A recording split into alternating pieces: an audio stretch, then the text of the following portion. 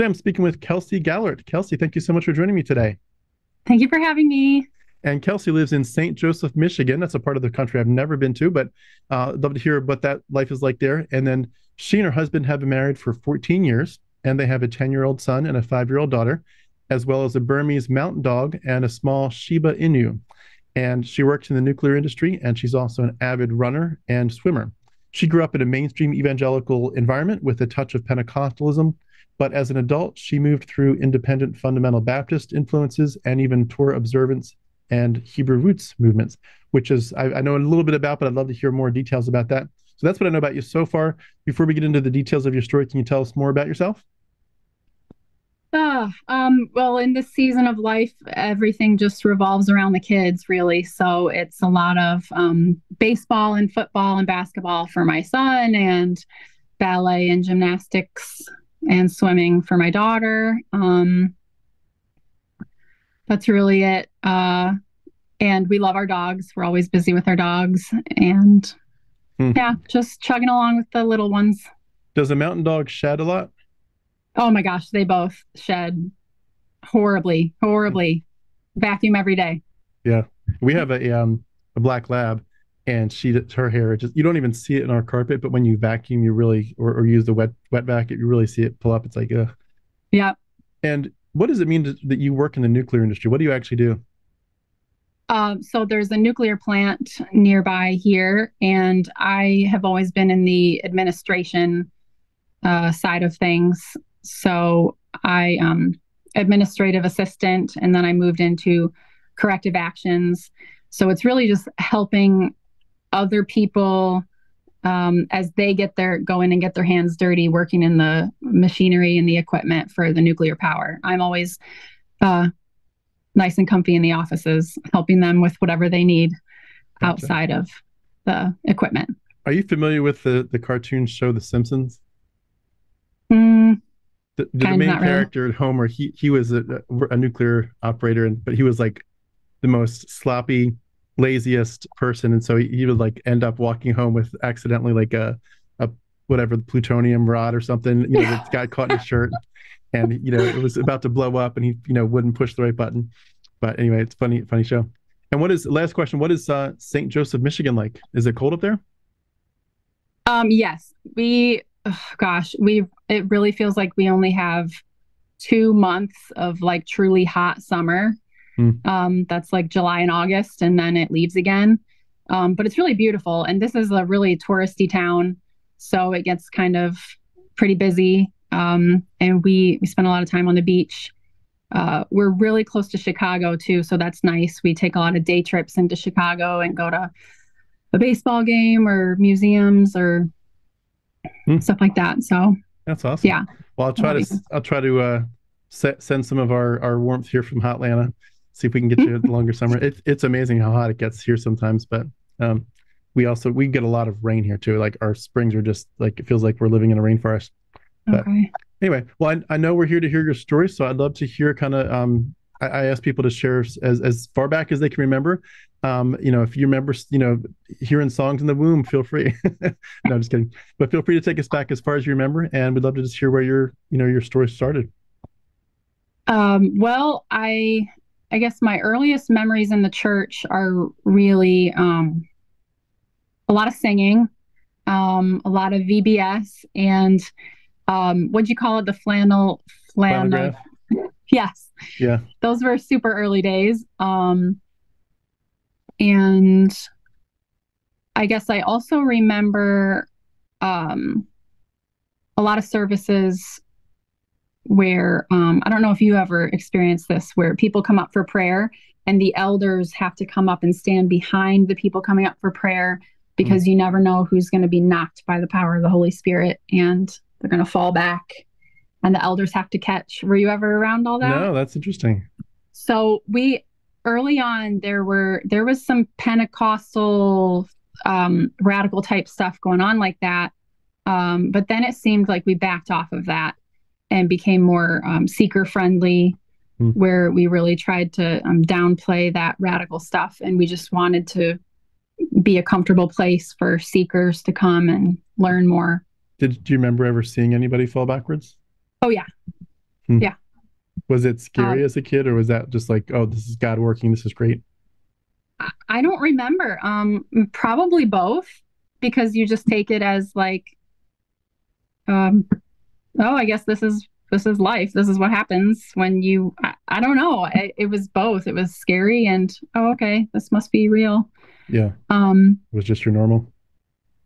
Yeah, and then and then later um maybe we'll i mean i guess we'll get the, to this but later i started um hungering for the holy spirit more and i started questioning why did we stop praying like that why did we stop welcoming the holy spirit that way um so that was something i wrestled with like i wanted whatever the holy spirit had for us i wanted it and why weren't we open to that type of prayer anymore that type of moves of the holy spirit anymore so that was something that I hungered for, and I didn't quite understand why um, some some people experience the Holy Spirit that way, and some people experience the Holy Spirit in different ways. So that Hmm. was something I really wrestled with, and I really just wanted to know how does the Holy Spirit operate? But like you know, why why would it vary between personalities or vary between crowds? That was something that I really struggled with. Hmm. But um, Were your parents, they were Christians and, and raising you to believe in the Lord? Mm-hmm. Okay. um, May I ask, what was that like? A lot of a lot of families would have things like family devotions and you know family prayer time, whatever. Did you all have that kind of home environment, and what was it like, you know, growing up in terms of not the church but just your home life? I think we casually read uh, kids kids Bible stories casually, but it, there wasn't ever um, a lot of intense talk, um, a lot of intense prayer. We prayed before meals, we prayed before bed, um, and it just seemed like casual Bible stories, but we weren't super intense about it at home. Yeah, that's good. it was like it was like once you walk into church then the switch can turn on and we're allowed to be intense and we're allowed to get into the worship or whatever. But at home it was like nah, it was just kind of casual or we just didn't do much of it at home. So it almost sounds similar to that idea of a, a mountaintop experience, if you remember that phrase. Mm, Like, you know, we I don't I don't think I, I would said we, we had it in my world more with church versus home, but it was more just like you would go away to a retreat for two or three days and you know that was meant to be like a mountaintop experience and it was very hard of course or if you went to a missions trip for a week or two came back where like everything you did for that period of time was just pure worship and sharing the gospel and digging into the word and you know just focused on the lord in every possible way and confessing your sins and it felt like weird to come back and be like okay so now let's watch some cartoons or football or like or you know take out the trash. It was like this, this stuff feels so unimportant comparatively you know? yes.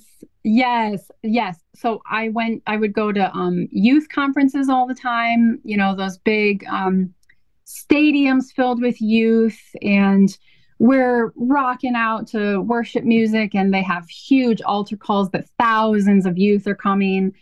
And um women's conferences where yeah it felt like a mountaintop experience like okay this is amazing. Now i've arrived and now i've experienced the holy spirit in a b and c way. Like this now this is going to set up my life so differently. And then you get out of it and you're like man like and really i guess i internalized kind of a failure to like oh why can't i keep that up? Why can't i stay in fellowship with the holy spirit enough to live life to where i'm always feeling that mountaintop you know that that was a sense of frustration and struggle too it was like why can't i keep this up hmm.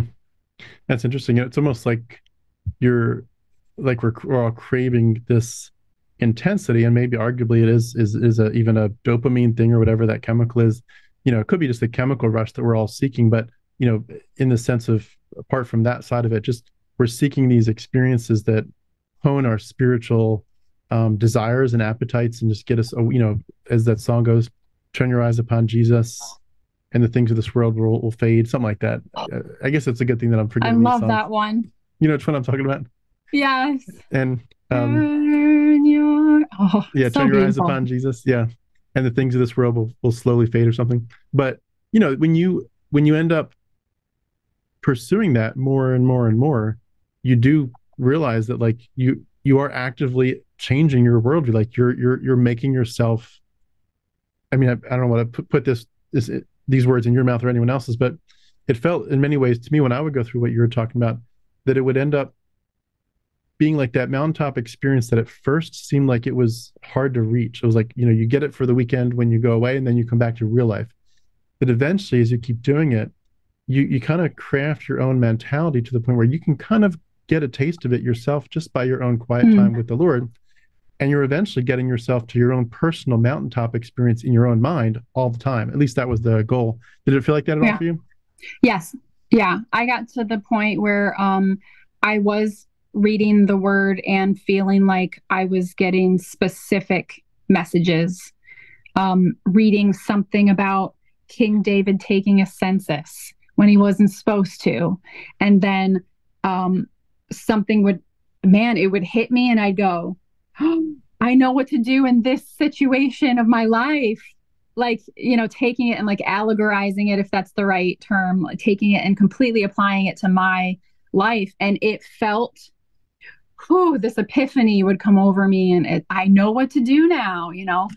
Um, Did you ever do the thing even, where you just open up and say, God, just you know, close your eyes almost and open it up, and hopefully that passage is is the yeah, right one. Yeah.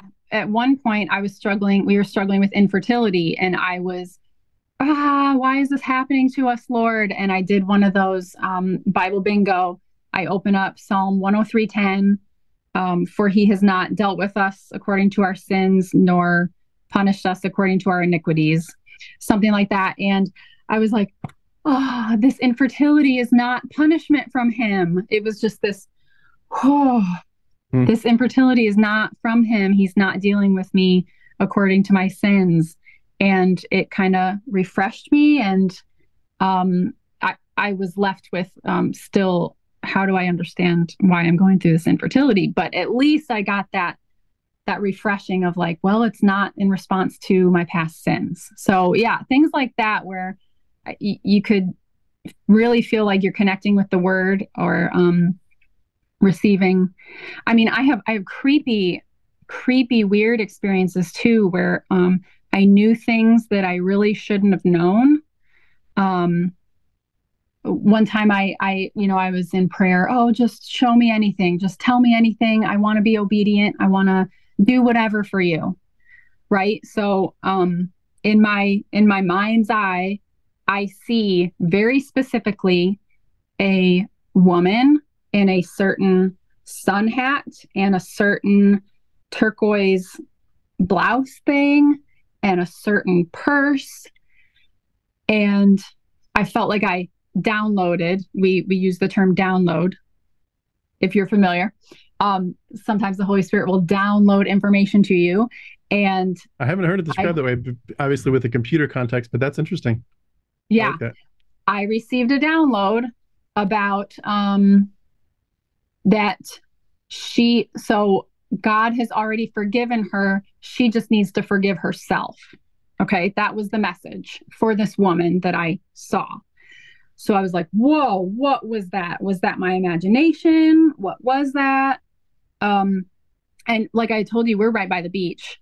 I'm like, I do I rush down to the beach right now or do I just organically like the next time we're at the beach do i go look for this woman? Like how is this supposed to work?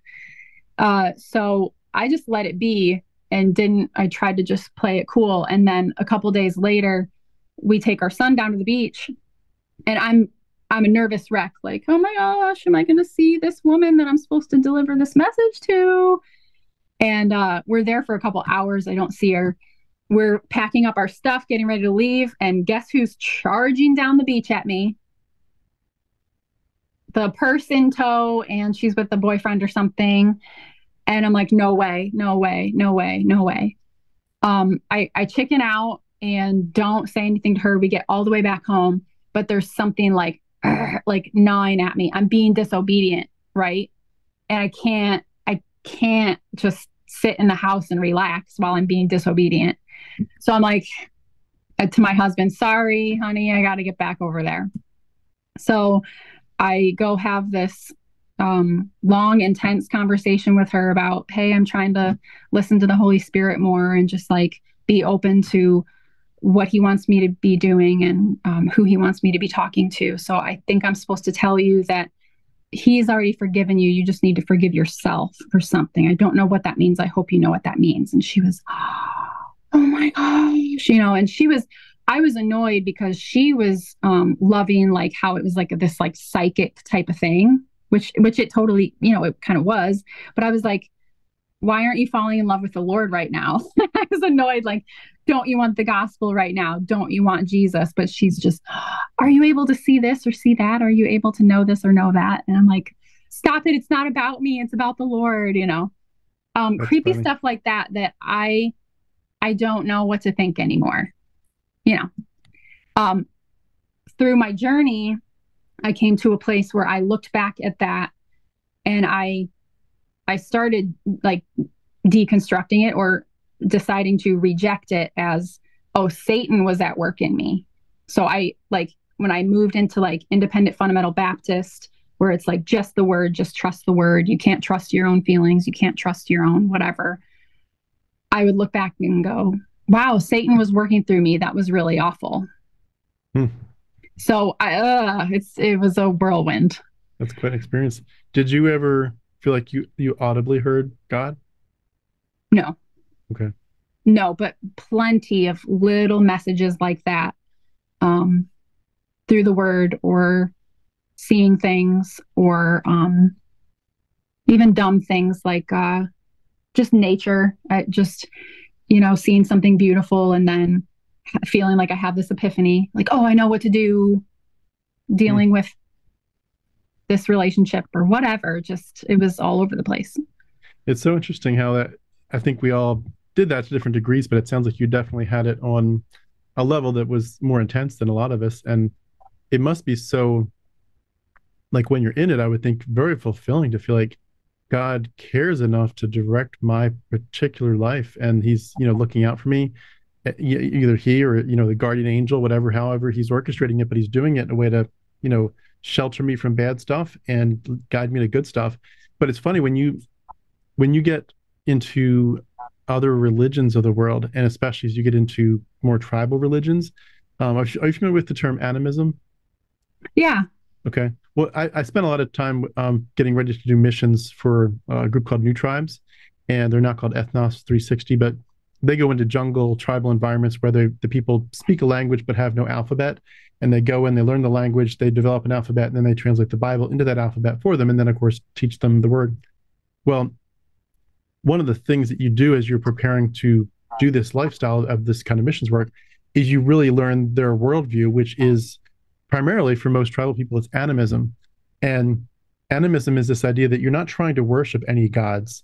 You're just aware that there are spirits in everything. So there's a spirit in that rock, there's a spirit of the stream, there's a spirit of the field, and and maybe if if you know uncle so and so was walking through the forest and that particular tree had a branch that fell down and smacked him in the head there's a spirit in that tree that really doesn't like people or doesn't like you and so you avoid that or maybe the next time uncle so and so went by that tree he said a few magic words and the tree left him alone. So you know that it's okay to go by it if you say these magic words. And you end up with this system where you don't really you don't really believe in in the sense of worshiping them. You just want them to either help you or to not hurt you, to ignore you, leave you alone. And it often ends up, I think, translating somewhat into some of the experiences that we had as Christians with the angels and demons world and, and with God, where we're trying to get God to please do good things, you know, help me find that parking spot, help me my kid to get an A on his test, or for the demons to leave us alone, you know, you know, to stop sending those messages or to just, you know, stop keep us away from we used to pray for hedges of protection, to keep us away from the car accidents and you know like you like you couldn't you couldn't go on a big trip a good road trip for four six hours unless you prayed really intensely first that god would protect your car mm-hmm. it ends hmm. up being more like a santa claus mentality almost but mixed with animism where you're like trying to get god to do good things and get the bad things to stay away and it, it's interesting how that works there's some of the stuff you said reminds me a little bit of that and um, it, it even comes down to simple things like you know knock on wood you know maybe that'll protect me from you know whatever i just the faux pas I just did but anyway, yeah i I did a lot of um, pleading the blood of Jesus over things. Okay. Because with his blood, he has victory over fill in the blank. Hmm. Um, so there was a there was a stretch there where I was like, why aren't we always doing this? Why aren't we pleading the blood over absolutely everything because doesn't that heal and doesn't that solve problems and doesn't that straighten out people's struggles uh, like why aren't we storming you know sick wards with pleading the blood of jesus over you know and then i it, it, gets tiresome because you plead the blood of jesus over a situation and it doesn't iron out so yeah then you then you get out of that habit but would they have done that would you have done that in the in the context of even like really small things like god i can't find my keys i plead the blood where's my keys? Is it was or was it more just like serious stuff like someone's in the hospital? I think i i tried to stay away from little things like using it for little things like that. Um i tried to only use it for big serious things. Mm. yeah i think we did something similar but it was more um, just like you the name it like I, I, have to pray in Jesus name. Um, as long as you say it, you know, I pray this in Jesus name.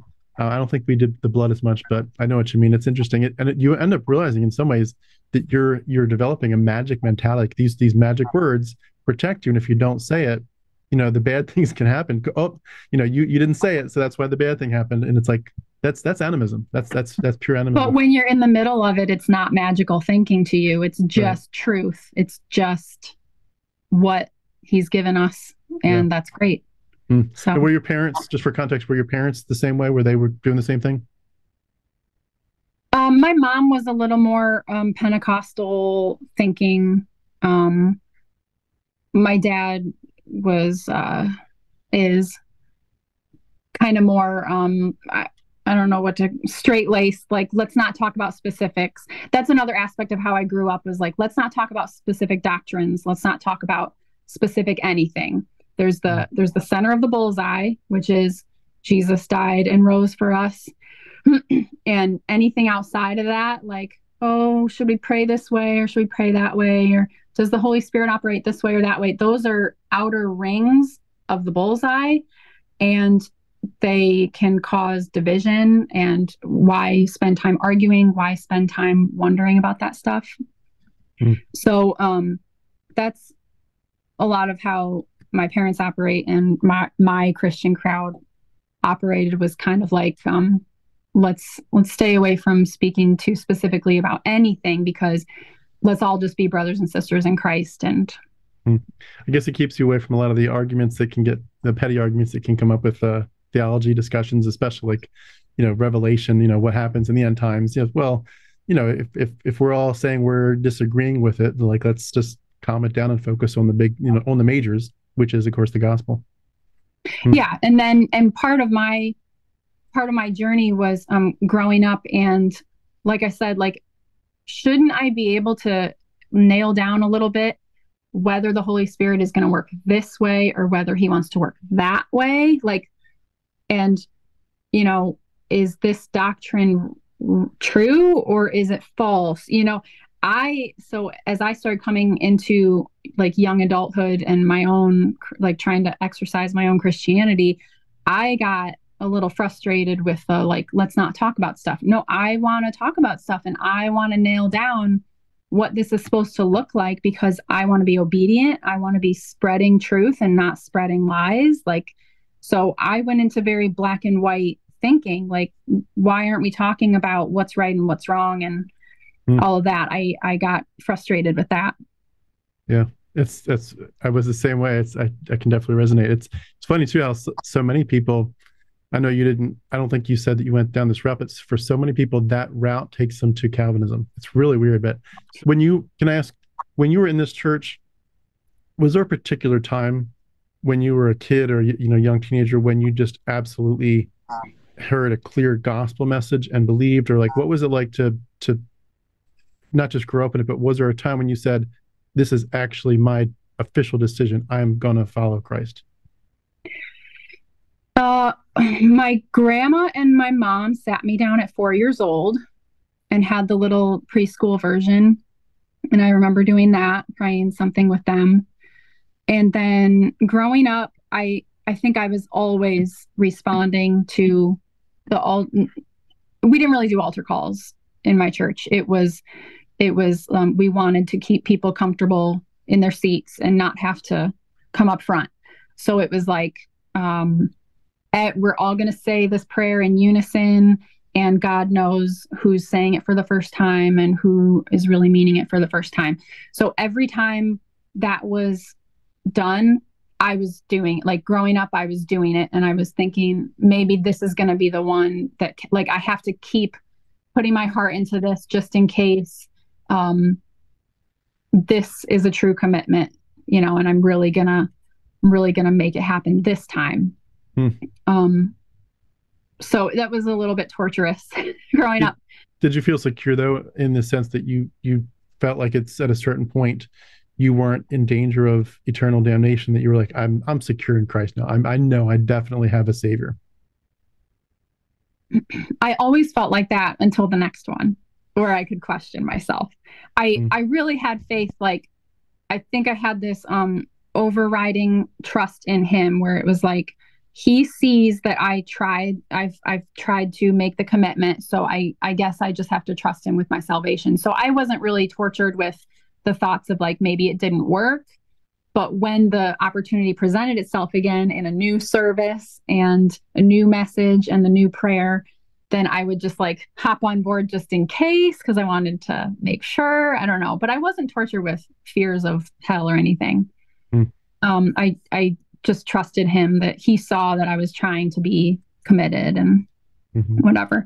I I got to a point in 2020 um, where I heard, "Are you familiar with like Paul Washer?" Yeah. Mm-hmm. Um, Ray Comfort. Yeah.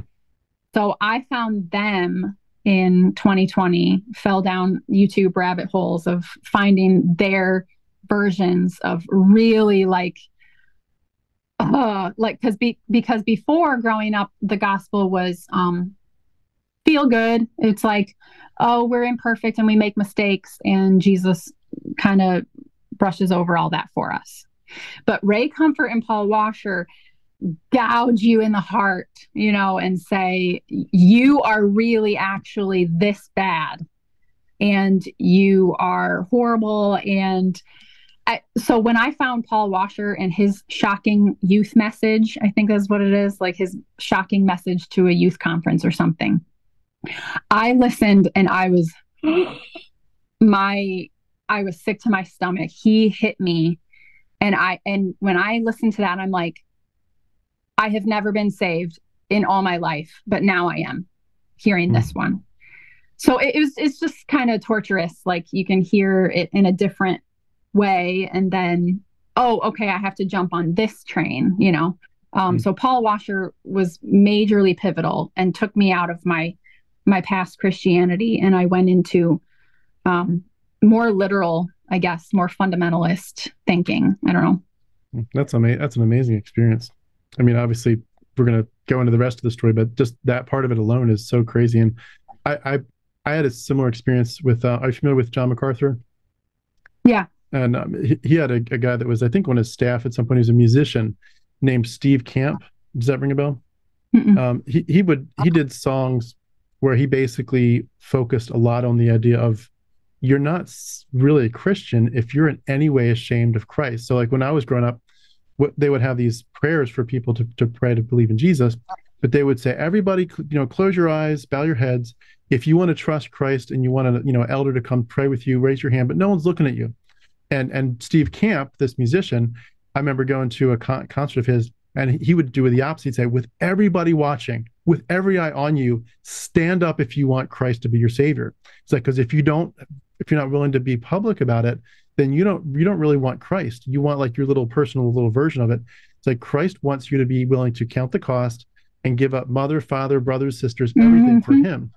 And he would sing these songs about you know we can't be living in Laodicea and just just being on fire and and like if you're not burning with passion for the lost and to love and know God, you're not a Christian. Like true Christians know that their God is the most important thing in the world.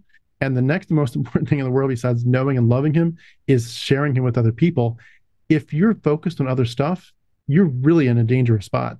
And that sounds very similar to your experience with Paul Washer. And it it does. Once you realize you're like, I'm on yeah, I want I want that train. That's the train. That's the ticket I want. And it's yeah. you feel alive. Yeah, I I didn't feel saved until then. Um, mm. and I, Uh, I feel bad doing this interview at all because I feel like if my family were to stumble upon it, it would be like this major betrayal or something that I'm even talking about all this. I I hope they can I don't know. I hope they can hear my heart, that people can hear my heart. Like I don't I don't blame my family for anything. They their version of Christianity is like yes, let's love Jesus, but let's also be real and live in the real world and keep our head on straight and not get too far in the weeds with this doctrine, not get too far in the weeds with this doctrine. It's just Christ and then you continue on like a normal person in life.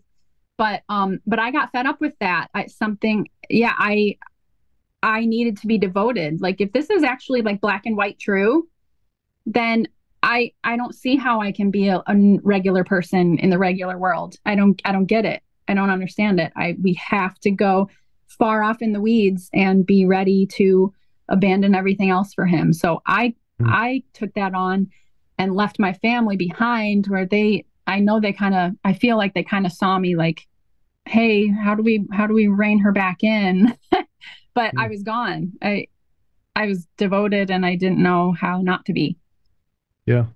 I think that once you get a few certain messages, like I remember messages like, if the demons aren't seeing you as a threat, you're doing it wrong. Like you need oh, to be yeah. so intense about your love, passion for the Lord and for the gospel that, that the demons, the demons see you and you're now on their radar. They want to take you down. Like if you're like, if you're not a threat to them, then like, what are you doing? Like your life is a waste. And yeah. I, what's that? Oh, sorry. No, please go. Ahead. What's that saying? Um, uh I, I want to be the type of believer I'm gonna butcher it, but it's like I want to be the type of believer when, you know, my feet hit the floor in the morning, Satan says, Oh crap, she's up again, or something like that. Like, yeah, that yeah. was that was me. Hmm. And I think too, when you mix it in with with spiritual warfare, which I did want to ask you about next, you realize in a sense you have to be that intense because there, you know it's described in Ephesians as a as a battle, and you have to have armor on you know you're fighting a battle you're not here to just be a casual christian you are actually in a war um, mm-hmm. did you mm-hmm. feel like that was true of you that you were in a spiritual battle and that you were kind of equipping yourself to fight i i think i tried mostly to stay away from that and just focus on god i okay. did have certain seasons where i would let myself ponder like are there demons around the corner giving my kid bad dreams you know or like I'd kind of ponder it, but um, I couldn't focus ever too much on it. I just tried to stay focused on him and allow him to iron out the angels and demons stuff. I even in my belief, I I felt like that's that feels kind of like um witchcrafty type like maybe I shouldn't be trying to reach into these realms and like affecting it. Yeah but so I, I went through seasons where I, I did kind of experiment with it. Um, I'm just remembering my son would have, um, he was like three, and he'd kind of be creeped out about, you know, looking around the corner into like a shadowy room. And he'd, oh, it tortures me now. He would say, I think I saw something in that room. And my hmm. husband would try saying, No, you didn't. It's just your imagination. I would correct my husband and say, um, honey, you don't you don't actually know if there could be something there. Like we instead of telling him, instead of denying what he just experienced, we need to be open to the possibility that he is seeing something and he needs to learn how to be equipped and like get away from me in Jesus name. So hmm. I I did go through that with my kids sometimes where it was like you guys need to be ready. You have the power of Jesus where you can say get we'd make it a little a little silly funny thing. Get out of my house in jesus name with the sass. And they loved it. Um but now it, it tortures me because i'm like that's just kind of magical thinking that but it was real. And i thought i was equipping my kids you know so it's mm. it's hard. Yeah i, I definitely want to i know it's jumping ahead but i want to get to to hear more about the the kids part of this because i know it's a big big issue is, is you know how we uh, both raised kids before as Christians and then how that changes with deconversion. But um, so when you're when you're in your you know teenage years growing up, what was your expectation for like? Did you feel like God was guiding you to a certain future, whether it was to be a housewife or a missionary? Like, what did you feel like God was saying I'm, I'm I've got a path for you and this is it? Or did you feel like that was vague? It felt vague. Okay. It it always it felt like I was flying by the seat of my pants, really. Or I guess that's how I look back and describe it now. I was flying by the seat of my pants. Okay. Just um little decisions like, oh, he, you know, this job opportunity is available. Maybe that's from him. You know, just like little pivots in my journey. I never had any big vision um, for my for my future. I I did feel like college. I don't even like I said I don't even come from fundamentalist crowds where where they really tell the wife to stay home and take care of the kids. That that's not my crowd. My crowd is like like I said, be normal. Go work, go do whatever you want. Like whatever whatever you want as long as Jesus is the center of your life. So mm. um but in me, just privately in me, I was a little tortured by why should I waste time going to college? Uh, isn't isn't that a waste? Like shouldn't I be available in the future for kids um, to be raising them. So I put that pressure on myself to kind of question why should I care about college and why should I care about a career? So I would waffle. I would take on a good job and then I'd kind of back off of it a little bit and question and oh, this new job is opening up. Maybe this will um, be more flexible for a future with kids someday. Just I just flying by the seat of my pants, just always questioning and always in doubt of what was really the the way to go. Mm. It's interesting. With the going back to your story with Paul Washer and and those guys, how did your theology change as you became more exposed? Besides just the obviously the worm theology, you're very wicked, but were there other changes in your theology that were happening? And and of course, you know what what was what were the next steps? Because I know you said you eventually didn't even stay there. You landed in Hebrew Roots, right? Yeah. Like how did that how did that whole period of time and, and how long was that? Was that just a year or two? So Paul Washer um that was exactly a year where I I got saved by Paul Washer.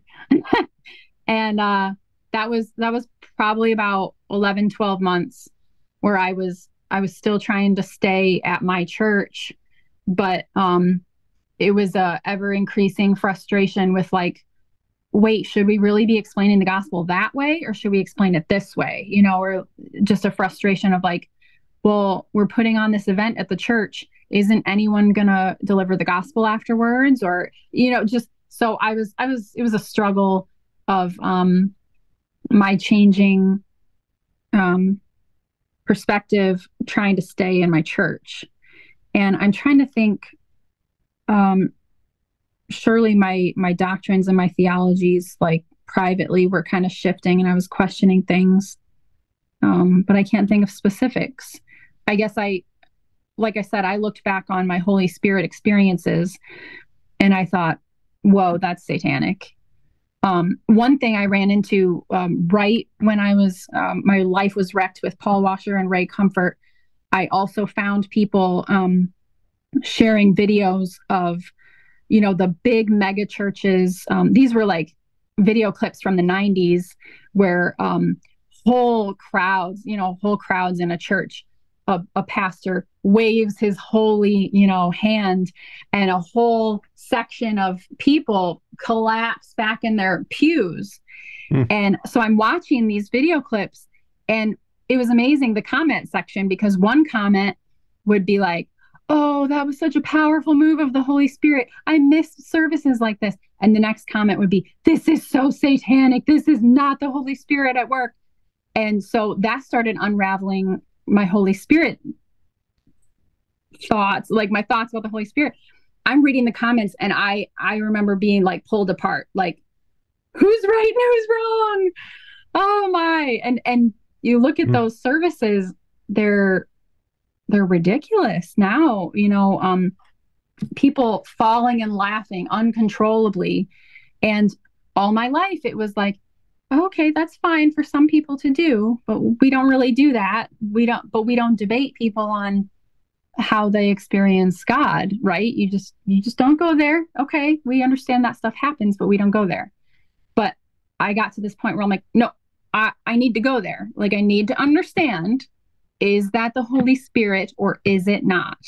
And so I uh I found people in the comments saying, um, no, that's uh Kundalini. Is that how you say it? Are you familiar with that? I don't think so. Say it again. Kundalini spirit. I don't think I've heard that. No. I think that's how you say it. But um, so I would find then I found people taking those church services and taking like a what do I want to say, um, Hindu maybe or some other, you know, Eastern religion or whatever, and showing them side by side. And people are doing the exact same thing. Hmm. You know, the laughter on the falling on the floor, laughter falling on the floor, shrieking and yelling, shrieking and yelling.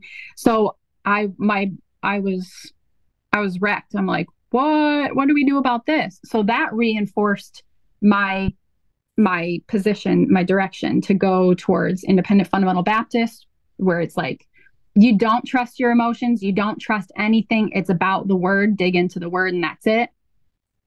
Um, hmm. the rapture was still there. I've I've dealt with fears of the rapture all growing up, and then independent fundamental Baptist, the rapture, they still t- teach the um pre pre trib rapture.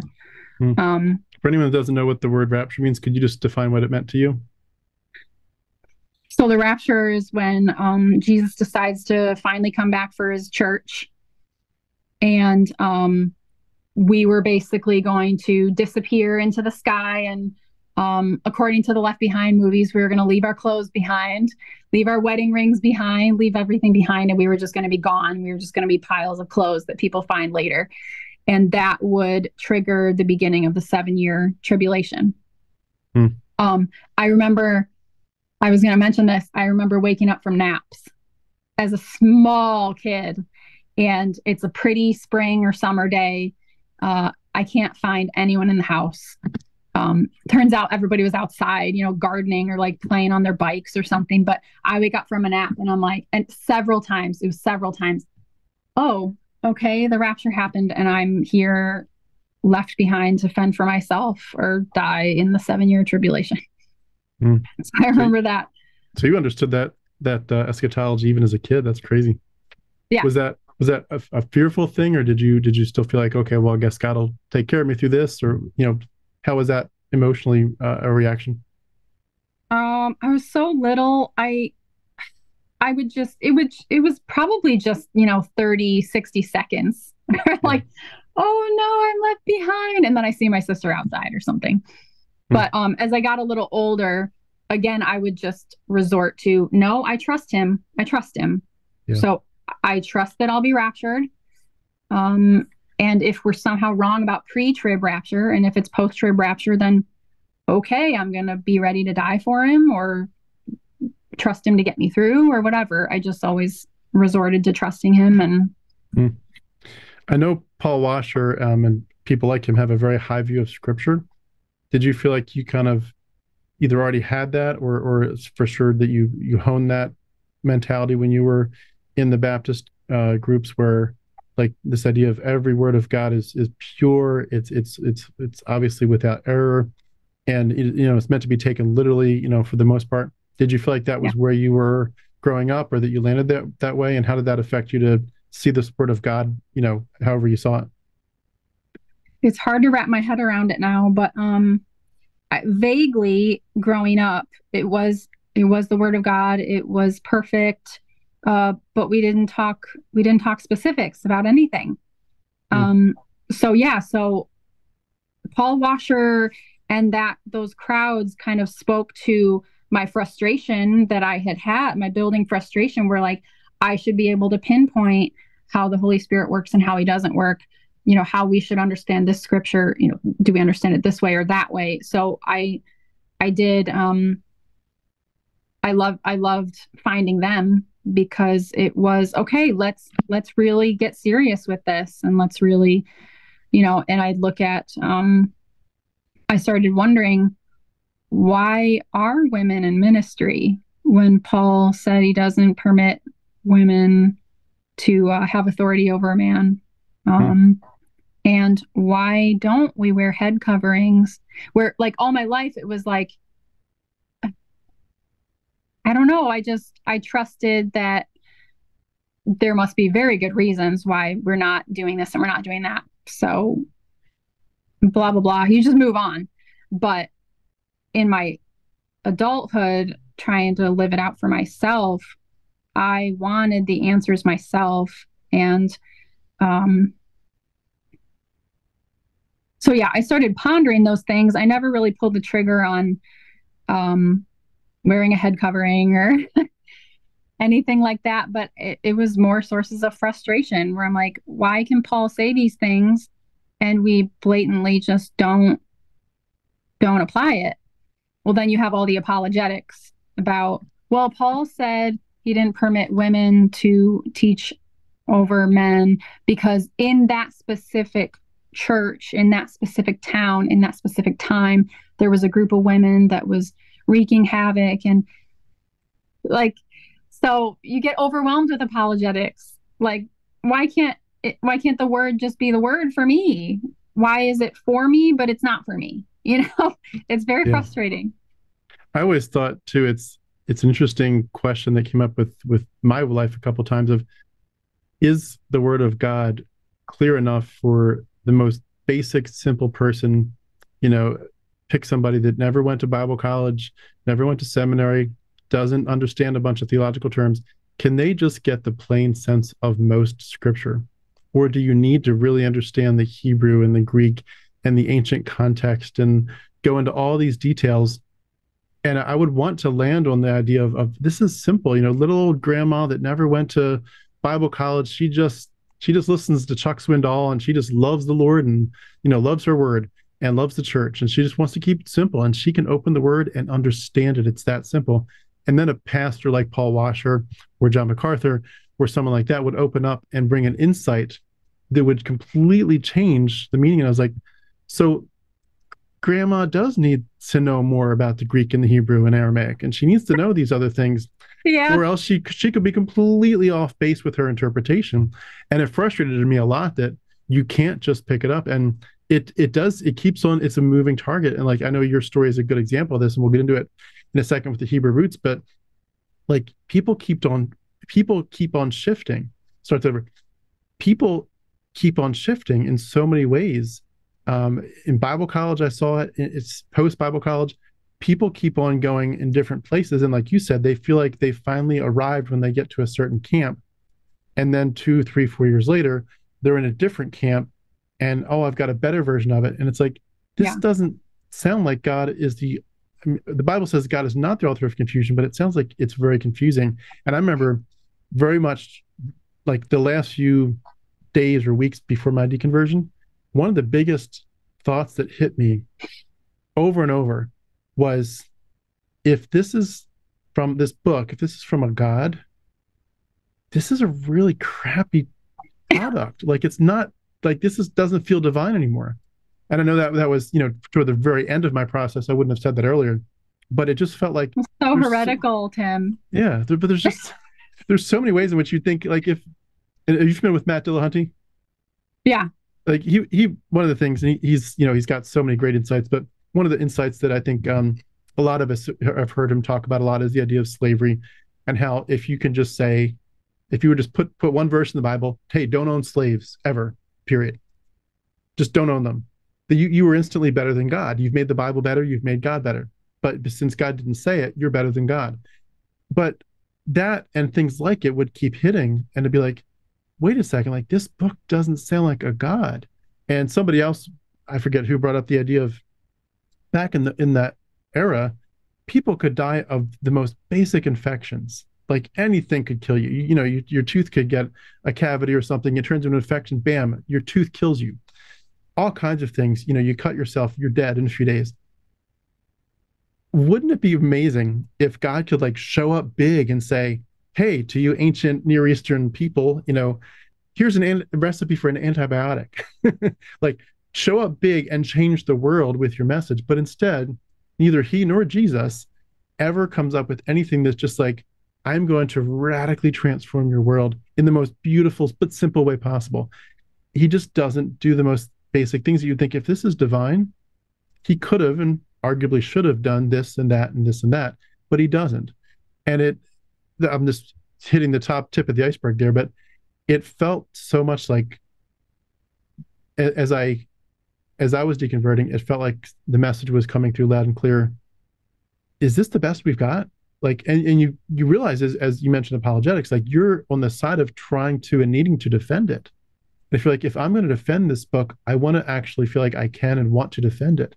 And when it falls apart enough where you're like, okay, I don't feel comfortable defending this stuff, that's a really uncomfortable spot to be. I don't know I'm jumping ahead here, but that's that's the kind of stuff that that stuff reminds me of. It, it it's a very weird place to be.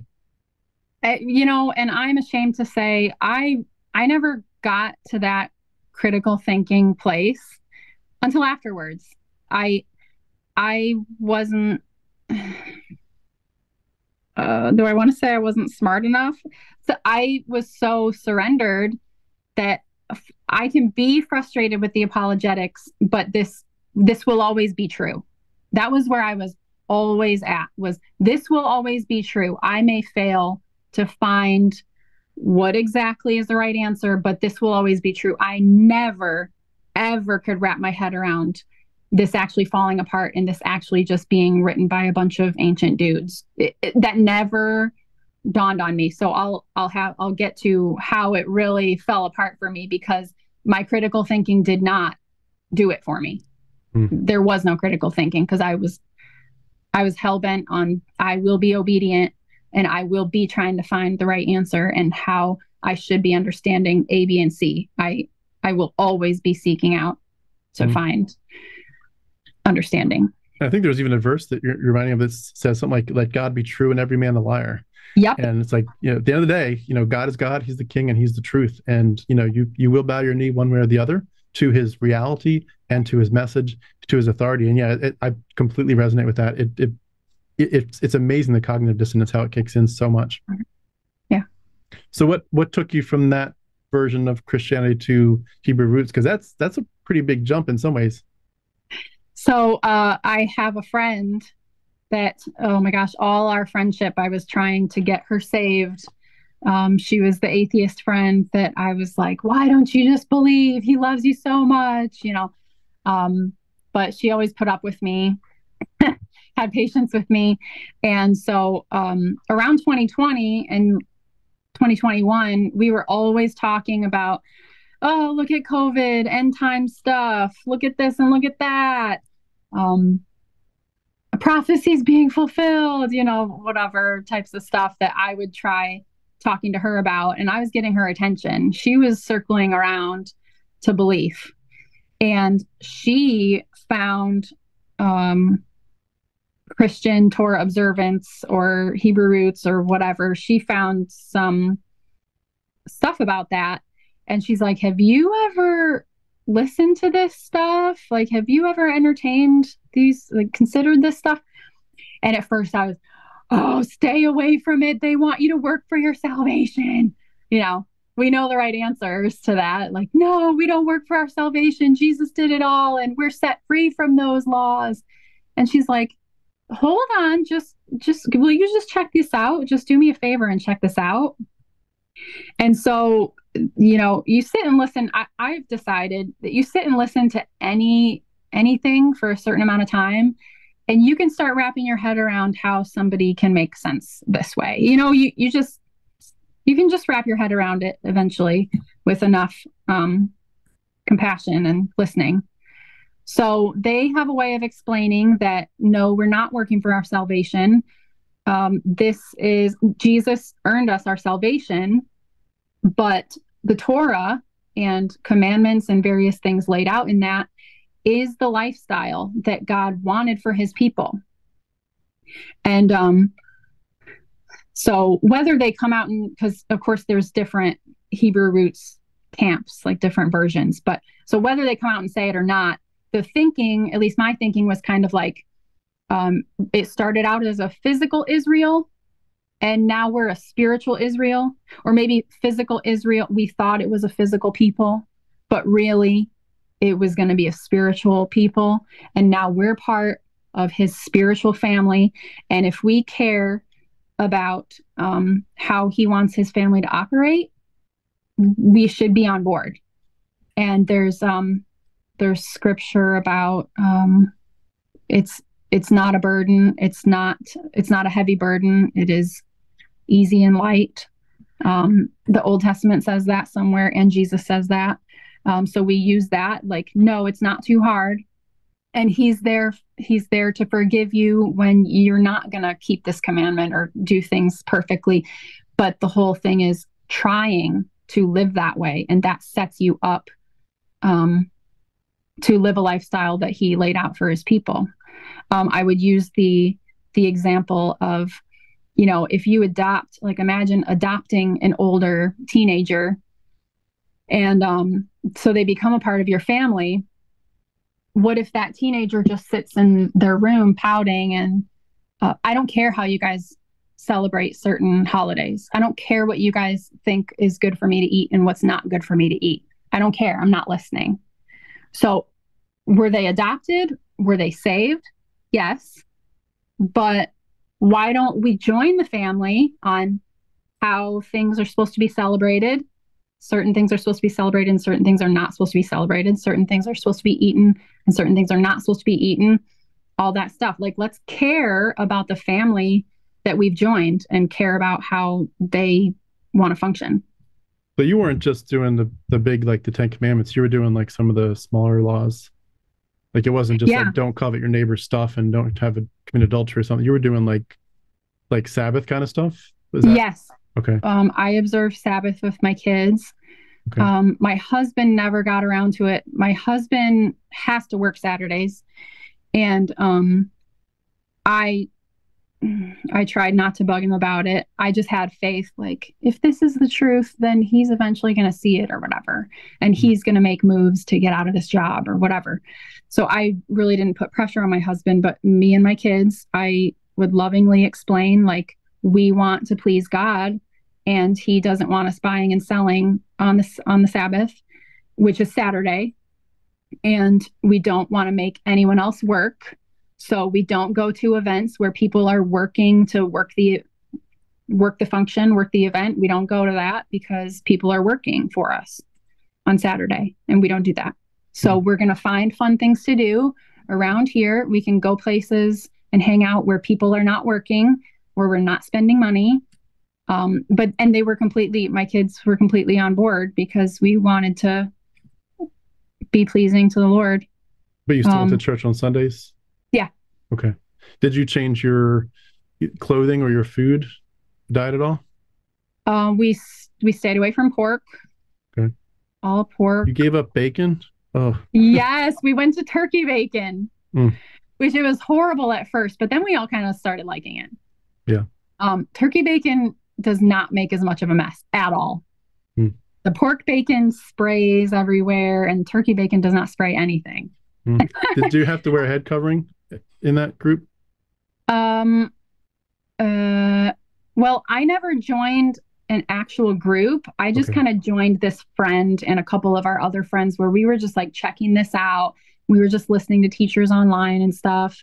Um, I never got super into it where I was going into head coverings and different stuff, but I was, and I always had faith like, all right, you see me trying, God. You see me you have patience with me. I'm trying to wrap my head around feasts. I'm trying to wrap my head around the dietary stuff.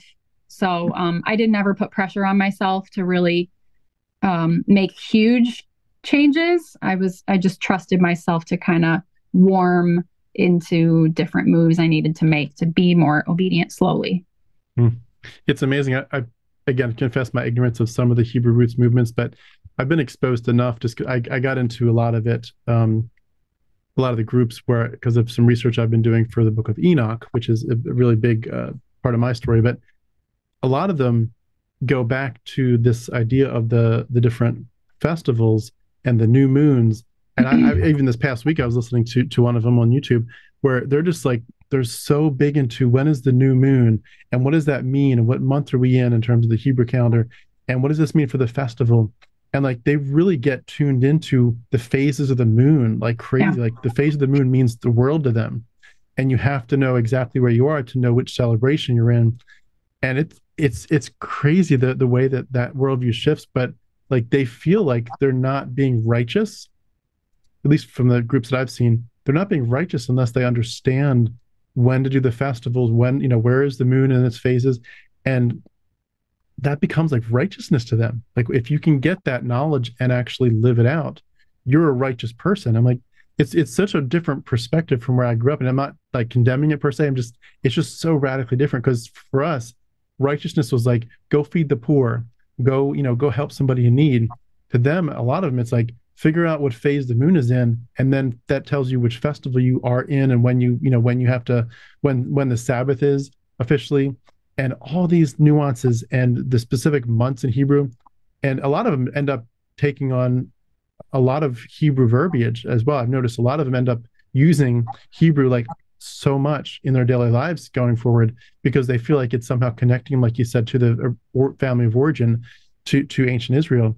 And it the shift though i think it also ends up just like a lot of other christian groups we all get into and, or go through it makes you feel very proud. Like you're like okay i finally arrived. I got it. Like i got it. God is the god of israel you know he is he is israel's god he's not you know the church's god first he's israel's god and so you arrived at this wonderful pinnacle spot of finally your theology came to the right spot and god you know mm-hmm. you feel like god's guiding you here he's been mm-hmm. guiding you to the right truth and i was telling somebody else in a recent, recent interview that it often feels to me like even generationally that uh, the way i was thinking as a, as a young adult that previous generations were making mistakes that God was correcting in my generation. So, for example, mm. my grandfather and grandmother, at least my dad's side, they were Lutherans. They're very cold. It was, you know, they went to church. So, it was a lady pastor, which in my group, you know, circles was a big no-no. It was very cold. You know, you come, you kind of do your thing, you say a few hymns, you, you know, you take the wafer and you go and you've done your thing. That's being a Christian. You went to church on Sunday. It doesn't really affect your life almost at all. And then my mom's generation, they were all like really strong into this conservative Baptist church. So like they kind of got the message and got it a little bit tighter. And then in my generation, we were getting into Calvinism. It's like we got it really tight. Like we're really mm-hmm. honing the message. And I'm sure Hebrew Roots feels like the same, like, but they, you know, a different path. But like we're getting the message tighter and tighter. We're getting back to what the original people heard from God and what God meant. And we're taking away these hundreds of years of distortion that the church and cultures put on it and you, it's, it's almost like if you can get back to that spot, there's a clear channel for God to speak to you. Does that does that resonate with you at all? Yes. Yeah. Um, 2020, I went through a bunch of checking out a bunch of conspiracy theories. Okay. And so going through this faith journey, it was like the ultimate I had I had discovered the ultimate conspiracy theories that the church, the modern church was completely had completely been led into lawlessness and um, uh, we had totally been robbed of the lifestyle that we were supposed to be living. And Satan is really running the modern church. I mean, like crazy stuff like that. It, it it struck the conspiracy theory chord with me. It was like, yes, like this is the ultimate conspiracy theory, and I'm gonna write it in my life. I'm gonna write it. I'm gonna live the lifestyle that um, everyone has abandoned and we shouldn't have abandoned. mm. With all those changes, you mentioned your husband before, but were you all able to at least, I mean, even if you couldn't do stuff on Saturdays, but were you able to talk through it? And did you feel like there was a camaraderie of, of just the investigation process of saying, there's more information here that we weren't told. We need to know more about, you know, how to really honor God. Was he on board with that, or, or were you all kind of in different camps for a while? Um, he's so easygoing, and there there's something about him that just isn't tortured with um, what is ultimate truth. I've heard you and a couple other of your guests like ah, I just have to know what ultimate truth is, and I don't get how you know these other people aren't tortured with it. Well, my husband is just. I don't know. He's just kind of along for the ride. He he grew up Lutheran and he's always just been cool with the casual belief and um and we're done on Sunday afternoon type of thing. So I was tortured with like I I presented the Paul Washer sermon to him and at first he was like, "Oh, that sounds awful." And then I'd kind of talk I ca- talked him into it like, "No, but you don't understand.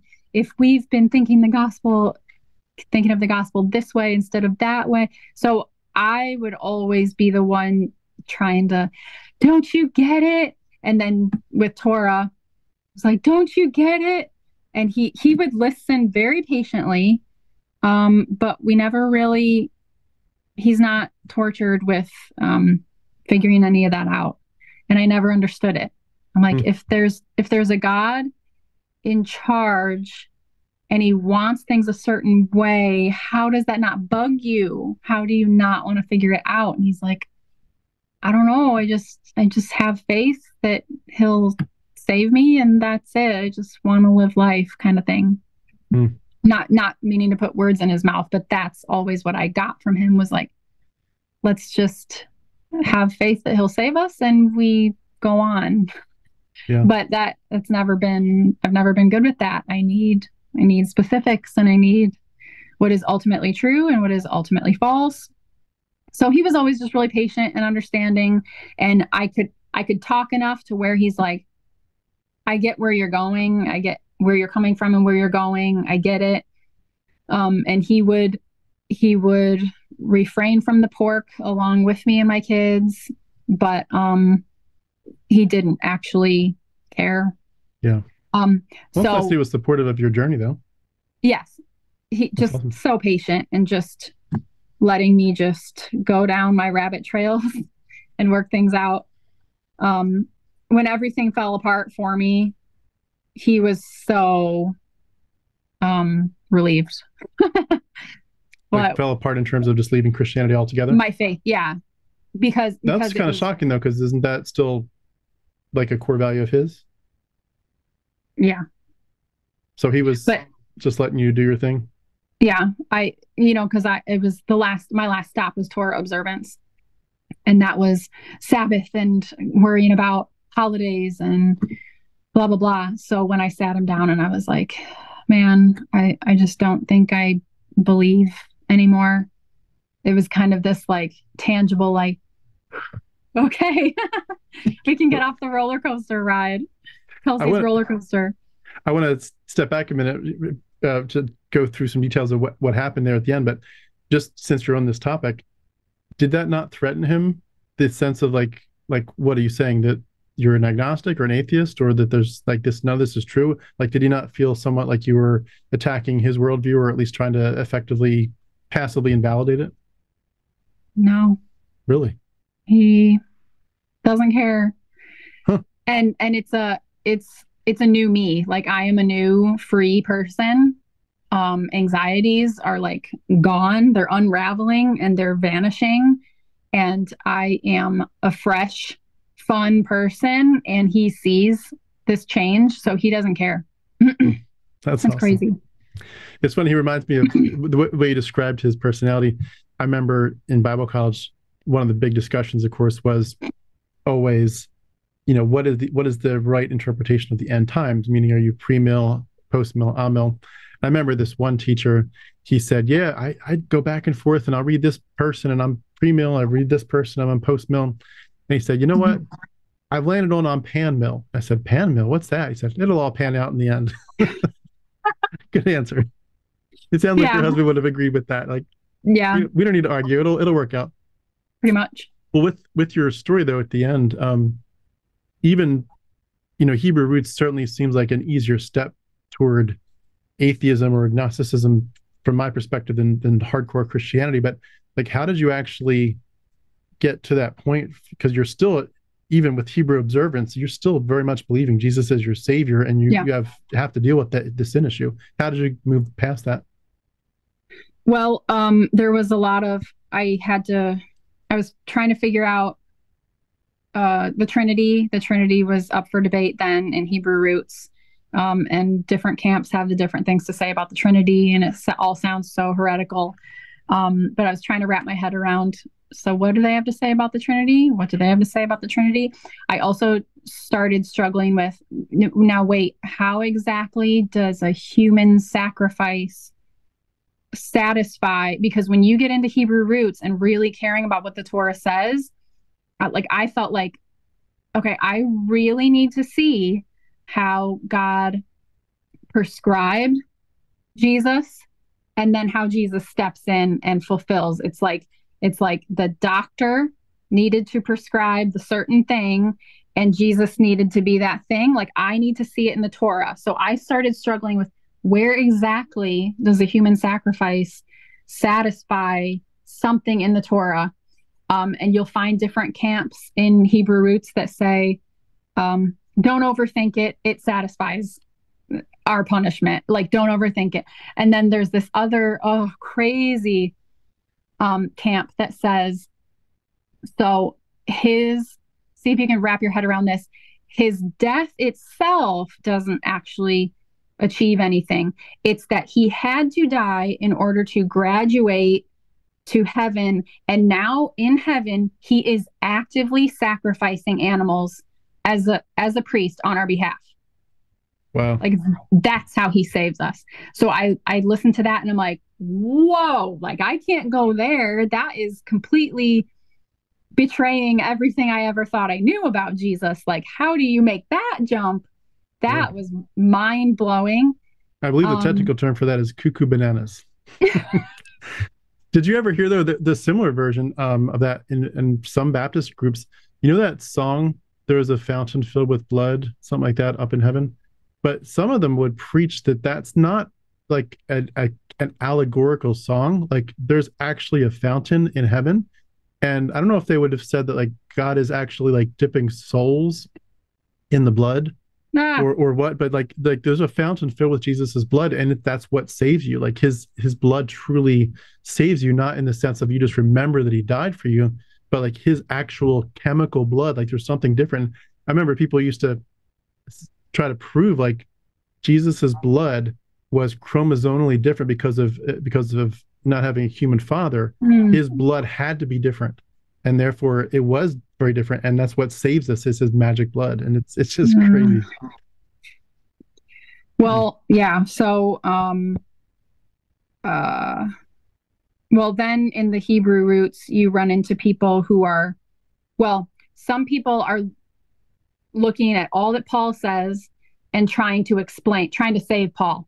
No no no no no. In context paul is trying to address this and this this and that. He's not actually telling us to that we don't have to care about the law Paul, you have to understand Paul in a certain light, in a certain way. So p- there are Hebrew roots that are trying to defend Paul. There's other camps that um, give up on Paul and say, Paul is the man of lawlessness, or Paul is the Antichrist, or whatever, because Paul brings us into lawlessness and encourages us to bail on God's way of life he wanted for us. Um, hmm. So, so you they were just leaving like the Gospels at that point. The Gospels. Yeah, some of them. Revelation. Some of them just say no Paul at all, just the Gospels and the Torah or the Hebrew Bible. Interesting. Um, it's a mess. Uh, but again, I never, I can't take credit. I never critically thought my way out of this stuff. I was like, the truth is here somewhere. I just have to listen to enough stuff and I have to, whatever, pray enough and honor this lifestyle enough and I'm mm. going to feel it more clearly and on and on and on and on. So, so what really, uh, it's almost embarrassing and funny the way that my faith shattered in like a matter of minutes. So I was listening to a Hebrew roots teacher on YouTube, somebody um, that I had been listening to a lot. And he was on a live stream with someone else, had a different YouTube channel um, this guy I hadn't run into yet called Christian Truthers. He was Christian Truthers back then, Justin.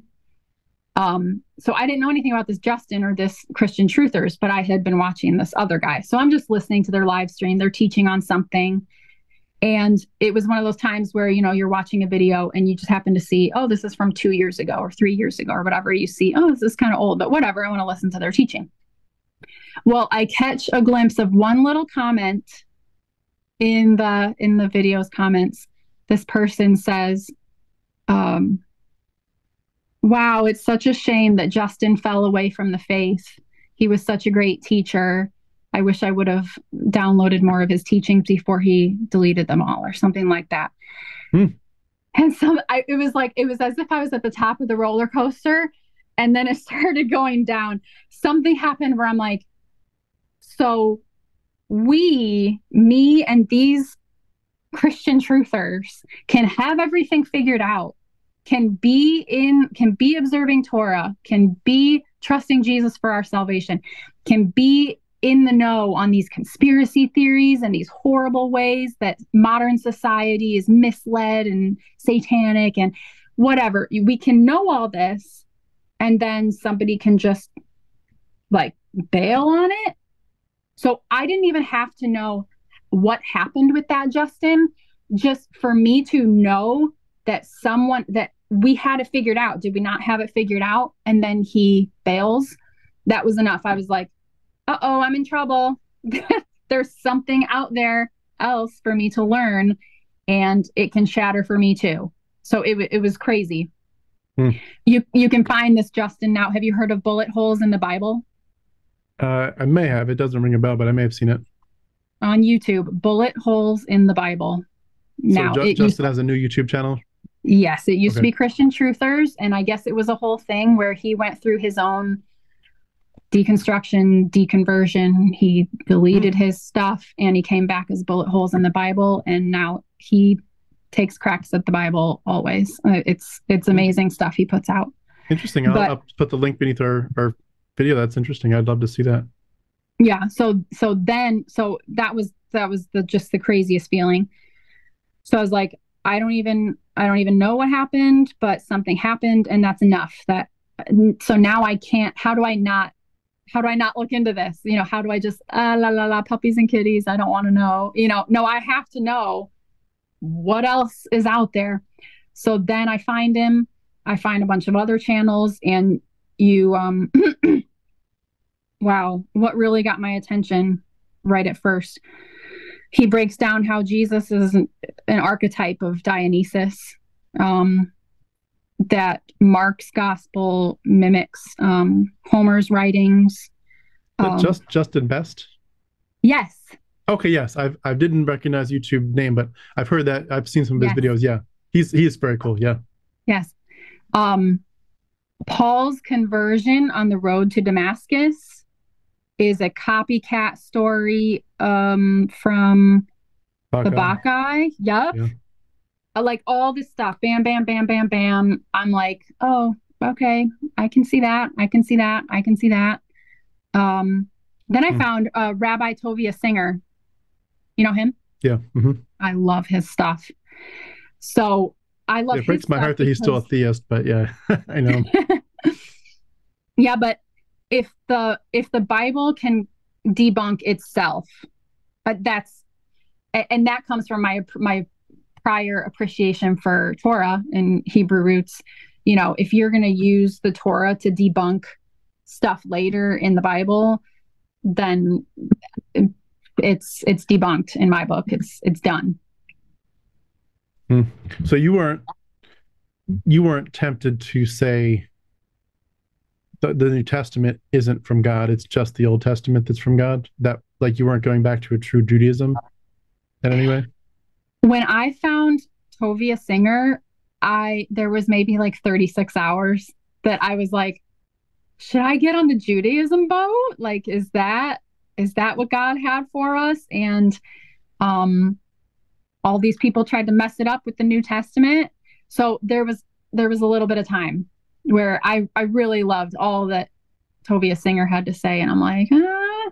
but I uh, eventually I just thought, well, if if so much of this can be debunked, then I'm guessing any other religion could possibly be debunked. So why should I put, you know, pour myself into anything else? Hmm. So, yeah, I hear you. I'm I'm curious with just, and I'm going to play devil's advocate for a second. And this is not at all to sound snarky. Um, I just, I know that this is a question that's probably going to come up in some people's minds. Um, I'll start with myself. So I'll put myself in the same boat. So it's not directed at you. I grew up as, you know, a, a basically a Baptist, called a Baptist, moved toward more evangelical mainstream Christianity, moved toward Calvinism, and then escaped.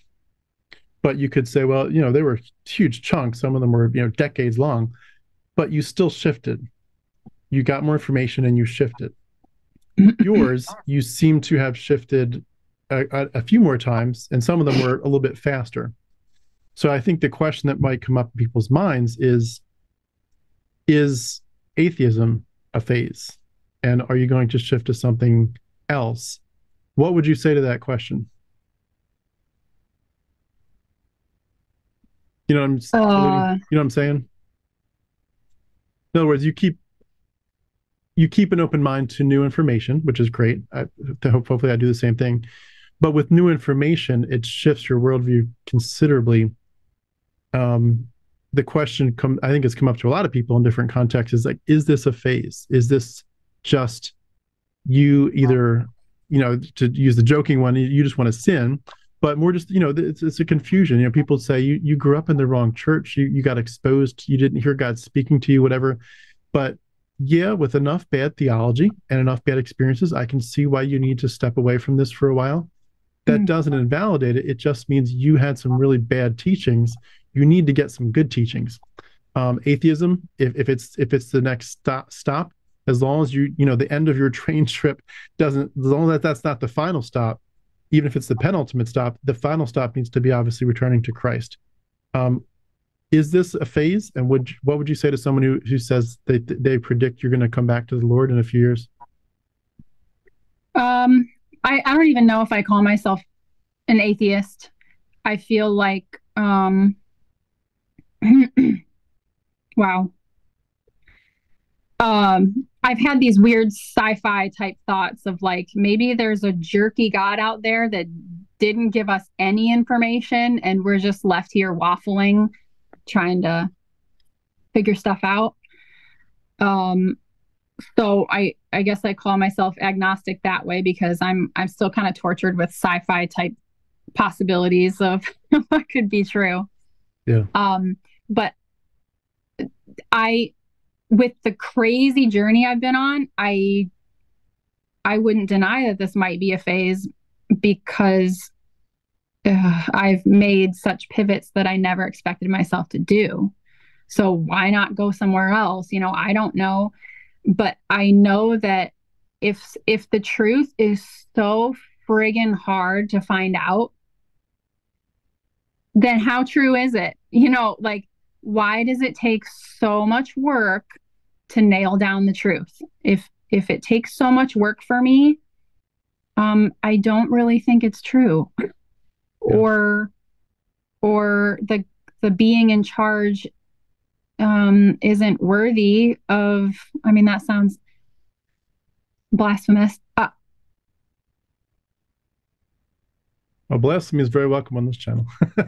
I know, I know. I'm trying to I want to phrase things to where I'll really be understood um i i don't ever see human sacrifice ever making sense to me ever hmm. again yeah um the blood magic um i don't that doesn't make sense and i don't ever see how it could ever again yeah. So I don't see how to come back. And I, and I have been accused of, oh, you got distracted by this extra stuff you know on the on the outer rings of the bullseye and you needed to um, just stay focused on christ. And i counter that by saying no christ was never up for debate. Ever ever ever was he up for debate. I i protected him. He was he was there. And i thought if this is true then i'm holding on to this center but I'd like to figure this other stuff out. Like if if there is ultimate truth, then we should be able to pinpoint is that true or is that true? Like something is going to be true and something's going to be false. Why is that so ridiculous for me to try to figure out? Mm. so if if the truth is so hard for me to figure out, I I'm not so sure that there is ultimate truth.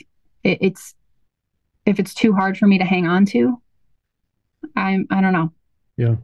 I would just completely applaud that and, and add to it that it, at the same time as well, it just seems like the fingerprints all over this thing in terms of like the ev- looking at it from an evidence perspective, like what's the evidence leading to? Um, which hopefully is more of a you know the the backdrop of of all these discussions as we're trying to change our minds to say I just want to pursue the truth. Where does the evidence lead as the, the actual truth? And we become more sensitive and aware of, of what is good evidence, what's bad evidence. But in, in light of that, it's like if it's so difficult to figure out what the truth is of this, of, of, of what, what does this God really want and how do we interpret it? But then on top of it, like, why does it look like the fingerprints look so intensely like it's just mostly tribal men, arguably very nasty tribal men who are making this stuff up? Like, why does it look like it's just their story? And then when you get into stuff like you mentioned with uh, Justin Best's uh, information and other stories like that, you could add to it of like saying, well, it looks like they're copying even the Yahweh stories from other places. And it looks like the Yahweh story evolved. Like he used to be the son of Elyon and Asherah. And how did that play out? Why is Asherah no longer part of the story? And why is Elyon and uh, why are Elyon and Yahweh conflated later? It and you eventually get to a point where you're just like, this looks if if you were to start instead of saying, God wrote this book, therefore the Bible, and look at how amazing it is, look at his love letter to us. But if instead you were to start with the premise and say, a bunch of tribal men who were trying to have a lot of power over each other's tribes and over the women in, in the tribe, they were trying to dominate their world and gain power by way of saying, there's a higher power that's communicating to me. What would that look like? You're like, that's exactly what this book would look like.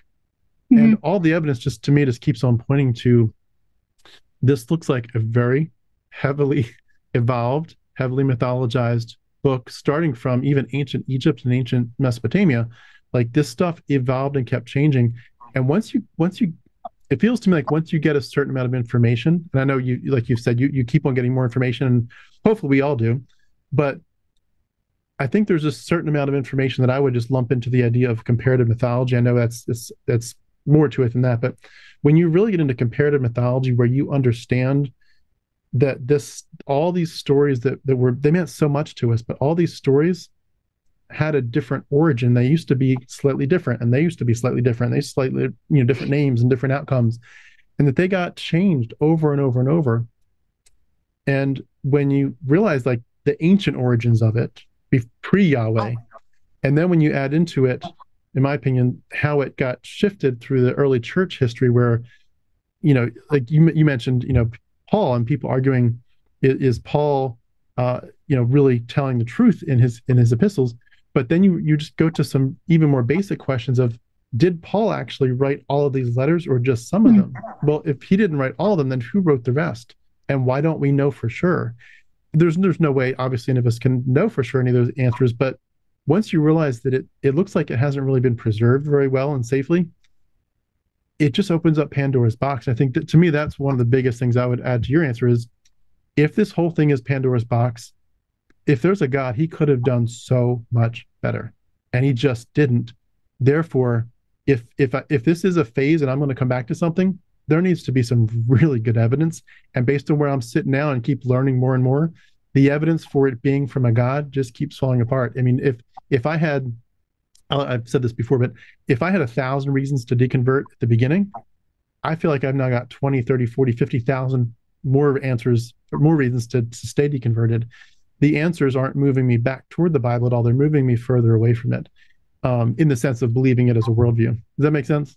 Yes what's ironic is you you um you put pressure on yourself to like there's God's word and there's man's word. Like come on Kelsey, care about God's word and not man's word. So that was part of the journey was like wait a second, this verse says this um you know, excuse me, I need someone's help on I need a man's help or woman's help. I need a person's help to understand this verse. I need man's word to help me understand God's word. It's this weird, okay, now what exactly is from God and what exactly is not trustworthy? Uh, and then you you realize oh okay, it's it's all coming from people. Like I'm trusting how much trust are you you're putting it you're putting trust in paul or whoever was ta- was posing as paul um, you're putting trust in Moses, or they say I've listened to scholars say Moses did. They don't even think Moses wrote. Oh, but you're putting trust in these ancient hands writing this stuff, and then translators, and then you know councils deciding that this deserves to be in the canon and this does not. Um, let's translate this this way instead of that way. There's so much trust in man. When mm when I really just wanted to trust God, how how do I just sign up to trust God and that's it? Yeah. Um, but you can't. You, there's no. I don't see how I can tr- just trust man's. I mean God's word without it requiring all this trust in man, and that's where it just snaps in half, and it's just it's just over. I just can't. So I've heard someone say, I don't know if you've joked about it or somebody joked about it. What, why can't someone just? Why can't God just write something on the moon? like like can't he just like show up big enough, personally enough for all of us? But instead, it's all these councils and translators and and then and you know and then you have people like rabbi tovia singer saying um no they mistranslated virgin it wasn't virgin it's young woman and then whoa that changes stuff so wait jesus wasn't really prophesied about coming from a virgin like so you're just you have to trust so many people in order to get mm. God's word. It's it's very ironic and it's kind of ridiculous and tiring. Yeah, and you realize eventually that you're you're listening to not men's interpretation of God's word, but men's interpretation of other men's words, and it it really it, it's it's crazy when you kind of come to a post mortem of it all, but you're like, you know what? I've been listening to dead men this whole time. That's what this whole thing is about. I've just been listening to dead men my whole life. And you're like, okay, uh, I'm done. Dead men do not need to speak into my worldview anymore. Yeah, it's and, and you I'm grieving. I'm mourning lost time and lo- like lost mm-hmm. time that I could have been, you know, taking care of myself and paying attention to how I want to live life. And which directions I want to go regarding any topic at all. That's just that's just robbed from me. I just because I I wasn't I didn't allow myself to care about what I wanted. That's that's absolutely irrelevant. Go to the word or go to prayer and get the answer on what he wants you to be doing next. I'm just a soldier and if I don't listen and obey, someone else is going to step into my place and do what he wants do what he wants done. Yeah. There there is there might as well not be me. But he loves me and it's this back and forth. But he loves me, but he doesn't need me. But he loves me, but he and and now excuse me. now I'm learning to actually think through topics and decide what does Kelsey think about that? What does Kelsey feel about that? Uh, it's it's okay for me to actually have my own thought processes and feelings about things, and that's been very crazy to try to navigate now. Mm. It feels like you're kind of alluding to the topic there of you know religious trauma and recovering from it, and yes, I feel like it's that's such a big thing, and I wanted to get into it with you. So let's use this as a segue to that. But you know, when you look at this Yahweh character with all of his, you know, psychopathic nastinesses, you know, I'll love you so much, but you know, if you cross me, I'm going to kill you forever. And I love you unconditionally with so so many conditions. It's like this guy is a whack job character, but we loved him and we were taught to love him. And and it's like the Stockholm syndrome thing. Like when you escape, you realize, yes, the Bible, yes, it's just a bunch of dead men speaking to us, but at the same time, we felt like the Yahweh character was real and Jesus was real. You know, all these other people be damned, but Jesus was real. God was real. He was our father. And when you realize he's not a good father, like he if, if he could have been real, we would have needed to philosophically fight him, not love him. Um, he's a psycho. And it's it's repeatedly described the way, you know, he he tells people to stone their own children. He commands Abraham to be willing to sacrifice Isaac. He's into genital mutilation. He commands child brides and, and genocide and so forth. He's a really nasty character, but we loved him. And that Stockholm syndrome, you know, who was my captor? Why did I love my captor so much? how did you weave through not just the is this mythology or not? Yes, it's mythology, but why did I love this guy? Why did I love this religion so much? I mean, you know, we would have called it a relationship, of course, but why did I love my relationship with this character so much when he's obviously not a good character? I guess I'm still, I don't even know. It was just reality. Mm. He was just, he was just in charge. And um, he wanted those people to live a certain way. And he gave permission to wipe these people out, wipe those people Out. like what he wants is good. Um, and that was just my reality. I was just so surrendered to him being in charge and I couldn't think outside of it. Hmm. I, I'm still processing. Yeah. I think I, am definitely the same way. It feels like every day is some version of that that you know pops up. You find there's roots of this stuff in your psyche that you have to keep pulling up.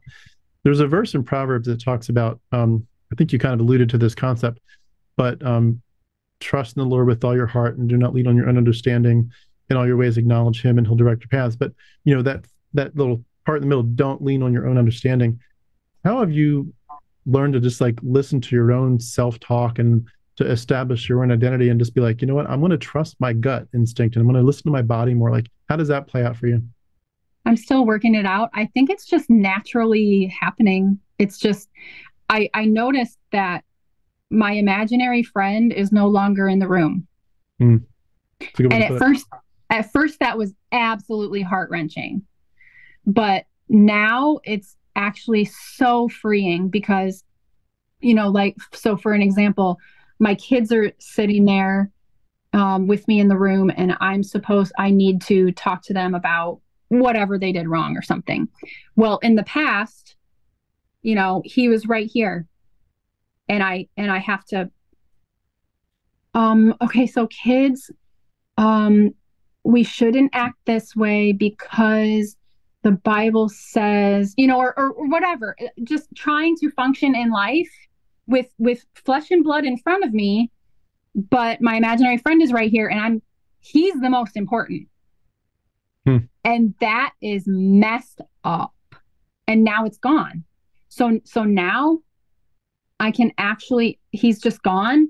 And now I can look at the flesh and blood children in front of me and actually process like the looks on their faces, care about the looks on their faces and how they seem to be processing what I'm saying or what they what they emotionally seem to be needing from me in this moment i can actually connect to that and it's crazy it's I can actually care about the flesh and blood people in front of me.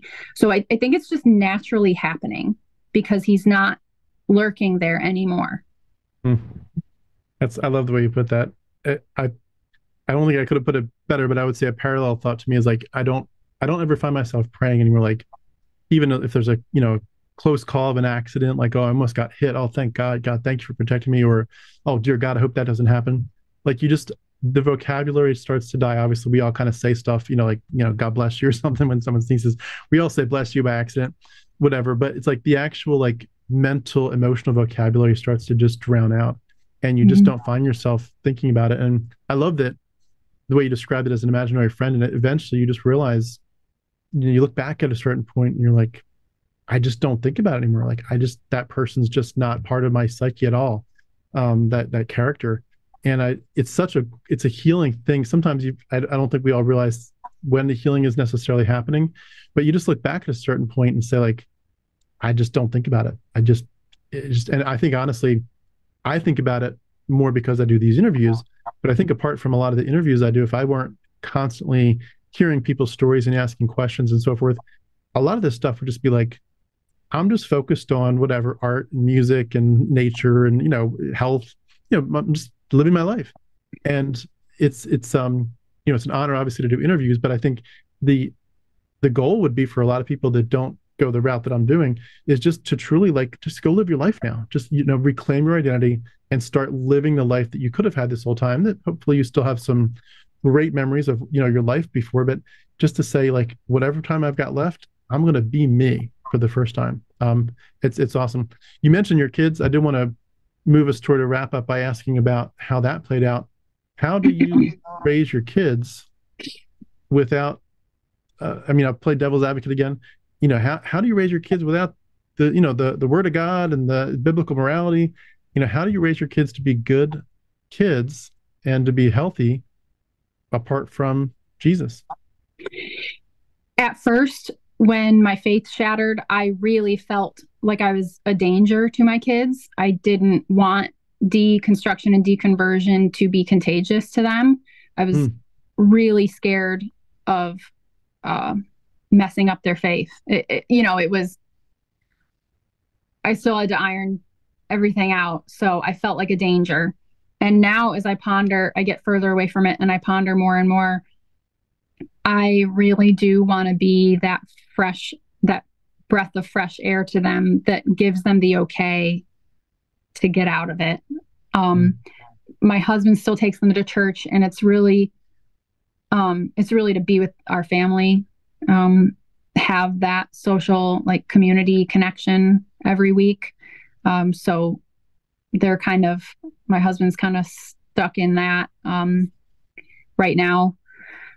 But uh, I've I've gotten brave enough to have conversations recently with my kids where um, I do say, and I've heard you say, um, you tell your kids you're in charge of what you believe and what you think and you don't have to let anybody in here with mm.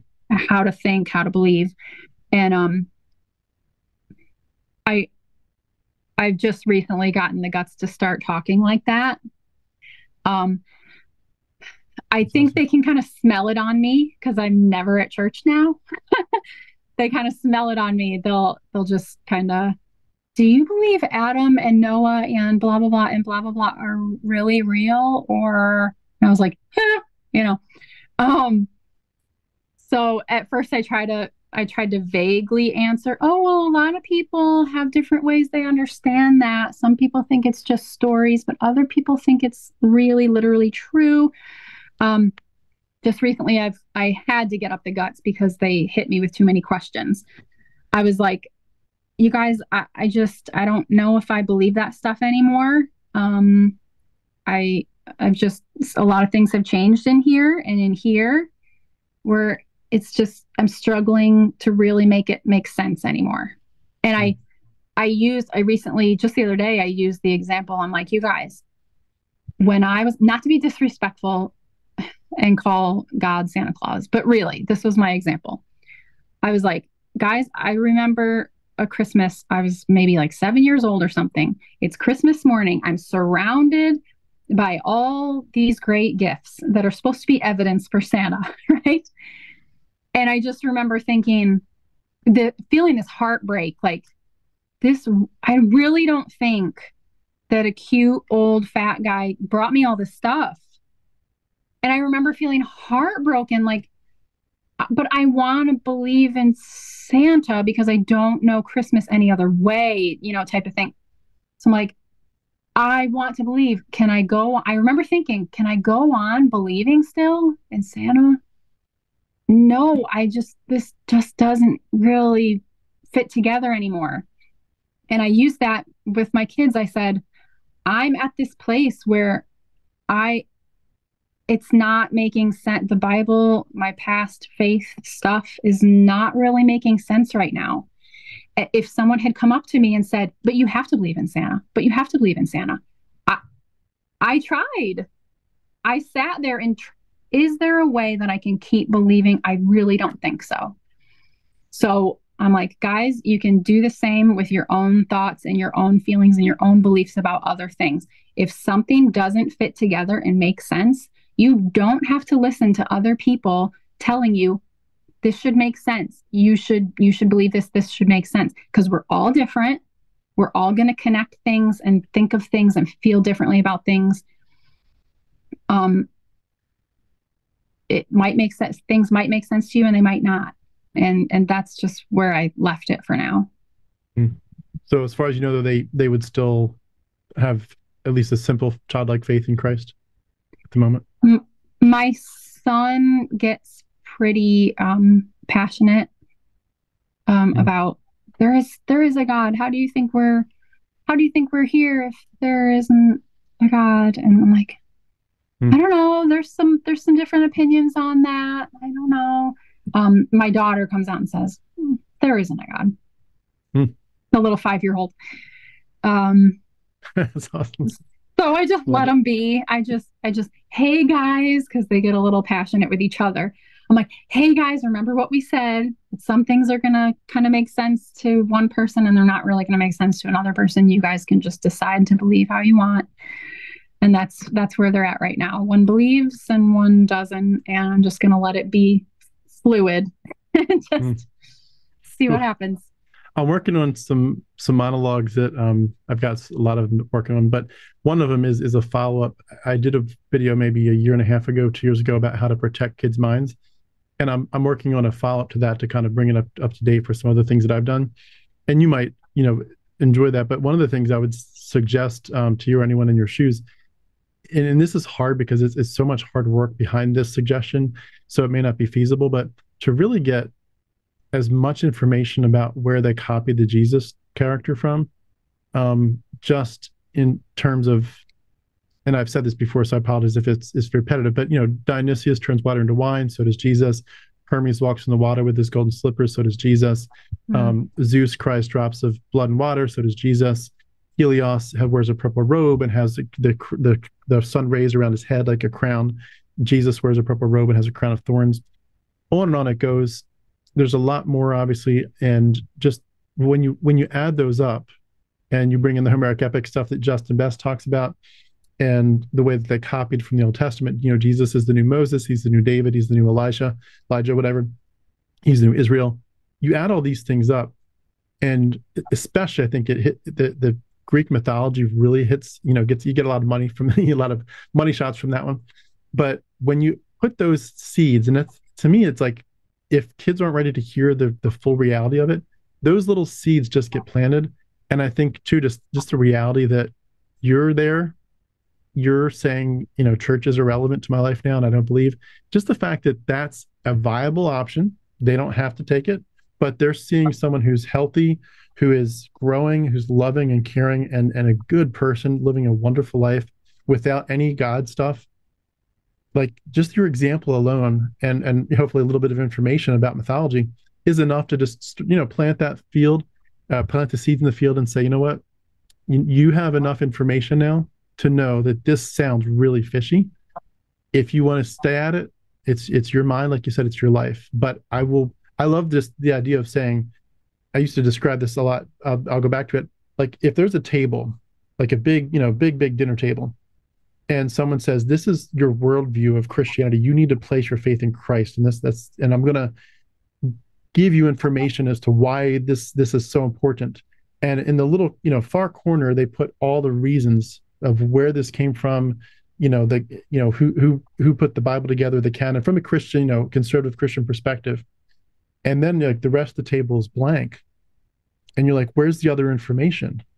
And where's the rest of it? And just to say like if you're going to tell people swing out into eternity, as it were, or, you know, at the cross of Christ as your saving grace, then at least swing out into eternity with the full knowledge of where this thing even came from.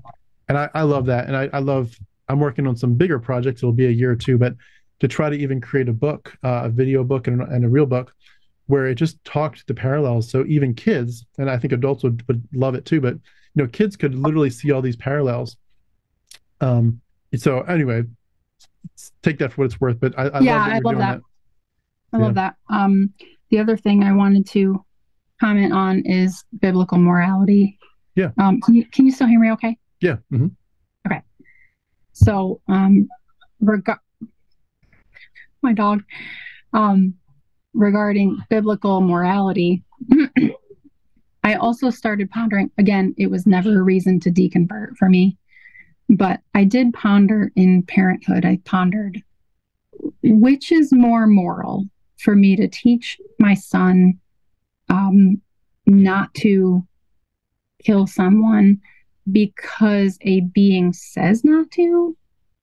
Or is it more moral for for my son to actually just feel no i don't want to kill because i care about other people? Like which is more moral yeah. you know? So when you take that boogeyman out, I think there's actually room for more morality, like true morality. Not that you're afraid of punishment or hell, but that you you want, just want to morally care about the good of others. Mm. And that's that seems to be a more moral lifestyle now that I'm out. I that's makes more sense to me now. Mm. Do you think your loved ones and, and family understand that Christianity is in many ways a version of psychological child abuse? Like, do they take that seriously? What it means to tell someone you are wicked, and there's a someone looking into your brain and analyzing you at all times, like, and and just distorting reality by leaps and bounds, uh, in terms of what you know what happened in history and you know physically what's what's in the actual universe. Do you think they get it? The the psychological child abuse that's happening. No. Would they would they call it that? No, not at all. Hmm. But but I come from a Christian crowd that um, doesn't play up hell at all. Okay. Like they be- they believe that it's real, but we're not gonna talk about it. So hmm. I guess if, if you if you brought brought it up to them that way, they would say, oh, "Okay, I could see your point, but we don't even deliver the gospel that way. Like we don't do that to kids." Hmm. Um, I got more serious about hell as an adult, where I'm like, wait a second, if this is black and white true, then why aren't we screaming about hell from the rooftops? Like this is serious. Mm. Um, so so they would defend themselves and say, we don't play it up. I mean, but if it's true, according to the word of God, then it's true, and there's nothing we can do about it. You can call it child abuse, but that's it's just ultimate reality. Yeah. I I do make a point of uh, hell being an issue for my my wife is still a fundamentalist Christian, and I'll talk about it a lot with my kids. Where like when we're looking at something where people are really just nice people, I'll be like, I'll, I'll point out to them, Mama thinks you're going to burn in hell.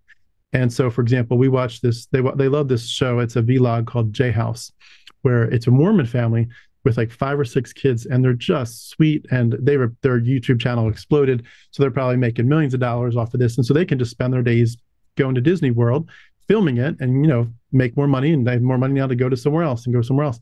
And so it's just kind of a cute, a loving family. They don't talk about Mormonism much. I mean, it's like 1% of, uh, if that, they're just a fun family, but they're Mormons. And I'll probably tell my kids, like, Mama even likes this show and you guys like this show, and Mama thinks they're all going to burn. And we've had some Catholic people do some nice things for us recently in the last year or two, and I'll be like, that Catholic, those Catholic people just did something really nice for us, didn't they? They were so giving. Mama thinks they're going to burn in hell, and I I don't say that to necessarily make it a dramatic issue, but in some ways it is. Like you realize they're they're not saying hell up front but they need to be honest. Like if you really believe that that's what's what their stake what's going to happen and of course bring it to the to the actual like real life right now in my life meaning for them their their world like you realize mama thinks you're going to burn in hell right? And get you get them to that point where they they realize this isn't like a you know squishy mushy jesus wants to be your special friend story.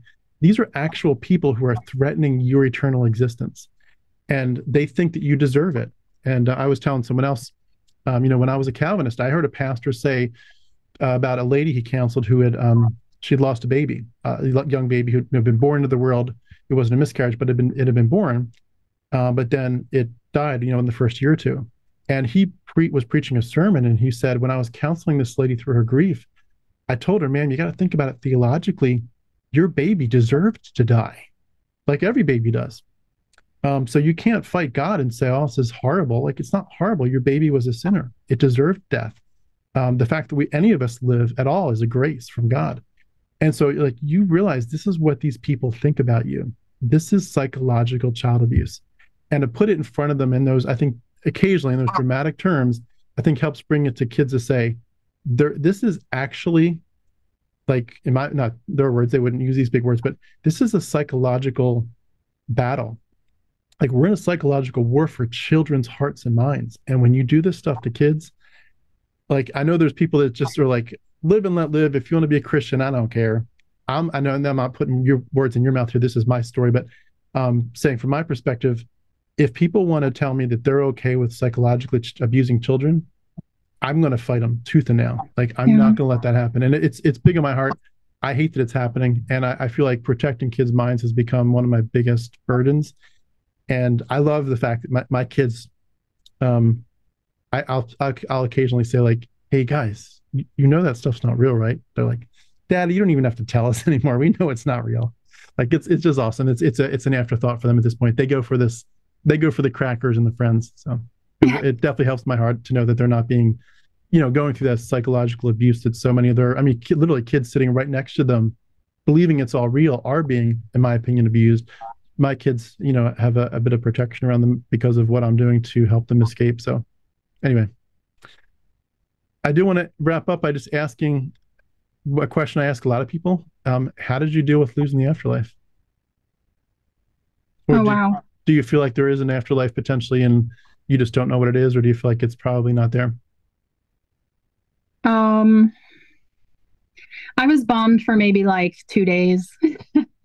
okay. Uh, not being able to be reunited with certain people and stuff. Um, that was a bummer for a couple days, but I just got over it, and it it makes you live in the moment more. Like, oh, this this is really it. Like, this is all the time I have with my loved ones. I don't get whole other you know millennia with them like this this could be it so.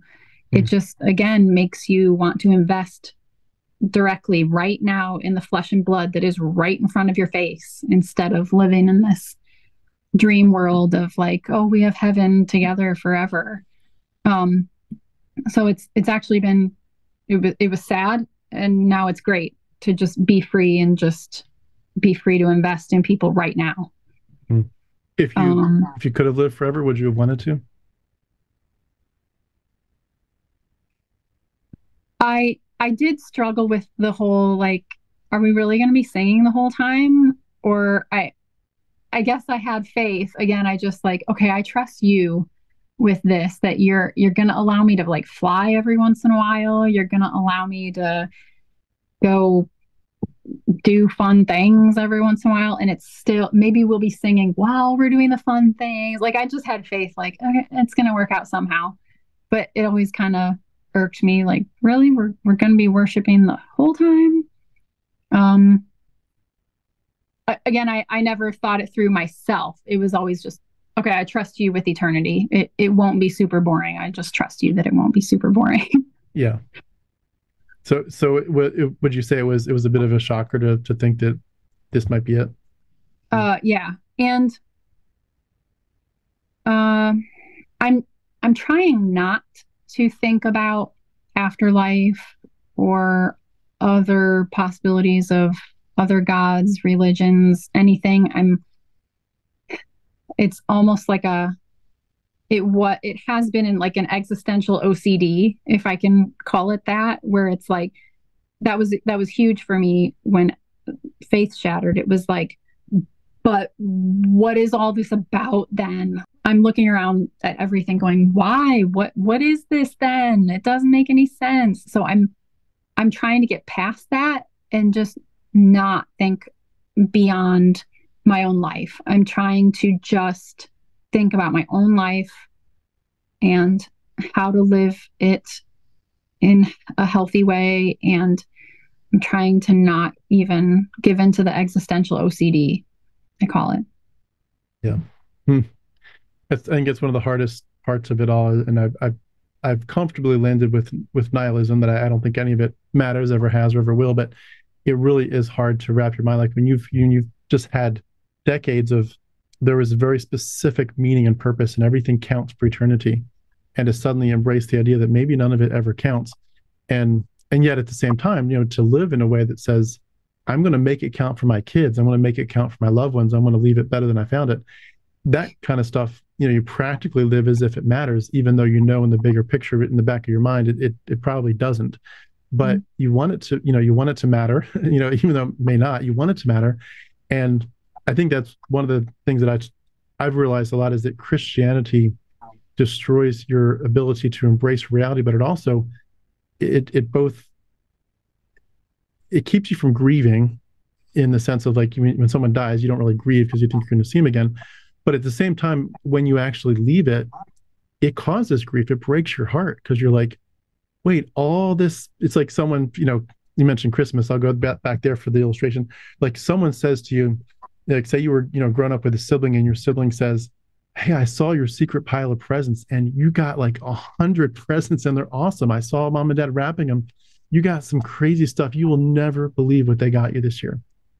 And the next day, Christmas arrives, and you find out that you know the paycheck had been cut and there was no money for anything and you got like one little sweater and that's it. That's your christmas is one little gift that you really didn't want. And you're like like this is it? Like really? Like this is kind of horrible. And you realize that christianity when you when you're done with it it broke your heart. Like the, the experience of leaving broke your heart. And you're like this was my father. Like this wasn't my like my cold distant father. Like this was my my daddy, not to be disrespectful to the father figure concept, but like this was my daddy. And Christianity tricked me into thinking I had a daddy and a future with him forever. And it's never been real, not for a minute. And it it it's quite a grieving process. It's amazing that you know the stuff. And I, I know people go through angry atheist phases. Um, I don't know if you got angry at all or if you've been angry so far, but it's amazing the emotional phases and it's it's it's cool. It's fun to go through. In some ways, it's an adventure but there there are days where it's like wow like this did a, this did a number on me. Yeah. I was really angry for a little bit. Just again the sci-fi thoughts of like who's in charge? Because if someone is in charge um they didn't give me anything trustworthy to really go by like mm. to to govern my life by. Um like i said god I, I don't have reliable god's word. I have to trust all these men for it. Um so i i was angry about someone possibly being in charge and not giving me clear information, clear anything. I, I was angry about that. Um, but then you just kind of realize, well, I'm I'm the one suffering with that anger and bitterness. So I guess I'll move on. There's nothing. I just have to be healthy and move on from it. But I was angry. Yeah. Hmm. Yeah. It, Uh, I think too, just you mentioned before that just realizing you lost some time and the idea of wanting to reclaim it. And I think it's even a verse about that of redeem the time. And it's like, you know, obviously not from a biblical perspective now, but we want to redeem the time we've got and make it make it worth it. And in some ways, you know, once you get past some of the harder parts of the healing process, life does get more beautiful. It really does because you realize that, you know, you're number one, you're much freer than many, I mean, generations and generations before us were stuck in this. And if, if they if they became atheists, you know, hundreds of years ago, they would have probably faced ostracization or death. And it's like we're we live in this world in a society now where at least we have the option to to pursue the truth for real. And so that's that's awesome. And just to realize like that now we're free and like we can we can look at so I, I love the idea of just looking up at the stars at night or a beautiful sunrise or sunset and just thinking I'm just looking at it and I'm not connecting it in the slightest to Yahweh or Jesus. I'm just mm. just to be in the moment, just look at the stars and don't don't do anything but just breathe them in. And it's it's really cool. It's it's a good it's a it's a fun journey. But so just to wrap up, I wanted to uh, pass the ball back to you one final time and just say, do you have any final thoughts for uh, for our audience, especially for anybody who's you know going through some similar thoughts or phases as to what we've talked about? Do you have any parting words for us? Uh, I guess I would encourage that you you are not alone. Um, it may feel that way, but you're not alone. You can you can reach out and find plenty of people like us that really were um, reeling from all this and have dealt with the heartbreak or dealing with the heartbreak, and we we can connect. Um, you're not alone in that. Mm. And um, for people who are considering and kind of waffling in all this, I recommend um, just staying, just try staying inside the Bible and exploring how it debunks itself. Because I I remember think I remember realizing that what there are biblical scholars that who are not believers like i know not to listen to them then you know I, you know that as a believer like don't listen to the non-believers about the bible um, so if you're uncomfortable with opening yourself up to that world, Um, I recommend just like I, I love Rabbi Tovia Singer, just opening yourself up to just stay in the Bible, but look at how it contradicts itself. And I I think that will rescue you out of the whole thing and just settle it for you. Mm-hmm. But that's a good way to put it. Yeah, I've I've seen some memes of something like that, like the the the path atheism is is paved by you know people that were reading their Bibles very carefully, something like that. Yeah, and that's that's what I say. My final my final prayer to Yahweh was, "You've seen my devotion, like you've seen my desire to be absolutely obedient and absolutely surrendered and on and on and on and on. So you also see my brain and what it's been through and what it's struggling with.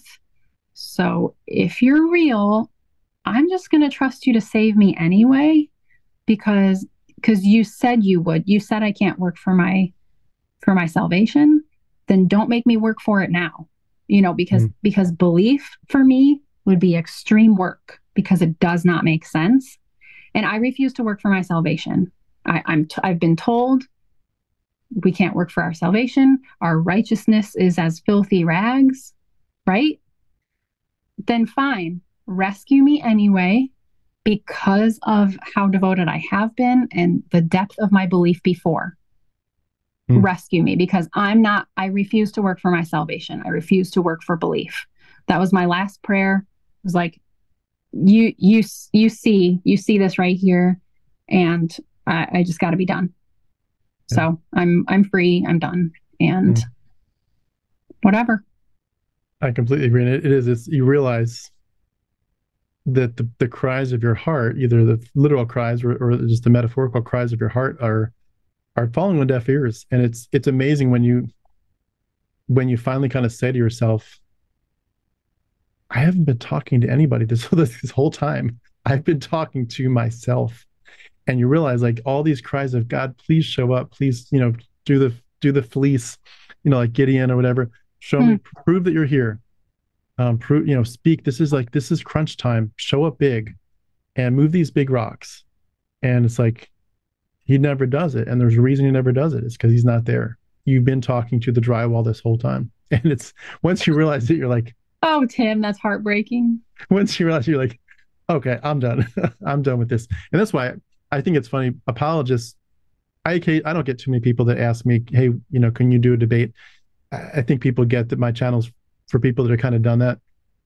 I respect channels that do the debates. I think it's great that some channels really thrive on that.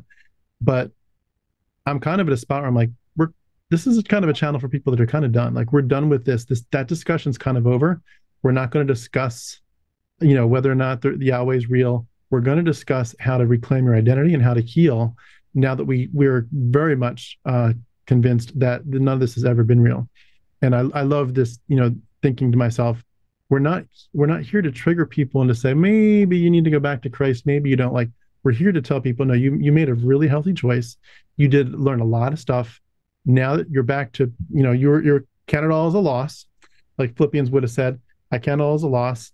Um, but you're back to square one. You're back to zero. Now let's start to build something special. And I, I love that. I love that people, for the first time, I think, have a chance to say, it's it's time to, to open my eyes, like in the, you know the the Matrix. You know, Neo opens his eyes for the I first time. it's like you never used them before. Well, all right. Well, now I'm going to use them. I'm going to use my eyes for yep. the first time for real. So, mm-hmm. well, I know I, I, asked a lot of questions. I really appreciate you sharing your story. This has been great. Um, I would love you, you're one of the few people that I think I've at least that I'm aware of that has said that your deconversion is fairly recent. I think you said nine months ago from the time mm-hmm. of our interview today. I would love to catch up with you again in a year or two and just kind of see how it's going. Um, if you tell me that you returned back to Christianity, even if it's that bizarre, I want to hear about it. Yeah. Um, but you know, I, am saying that tongue in cheek, of course. But I, would love I'd love to hear how your journey goes, and especially in light of your kids. So please do reach out again at some point, and you know, okay. tell me how it's going, and especially if you have anything topical in your mind. But this has been great. Thank you so much for for your vulnerability and sharing your story. Thank you for having me, and thank you for all you do. Absolutely, absolutely. That, I'll just wrap up by then by saying we've been speaking with Kelsey Gallert. Kelsey, thank you so much. Great to hear your story. Thank you. Bye bye.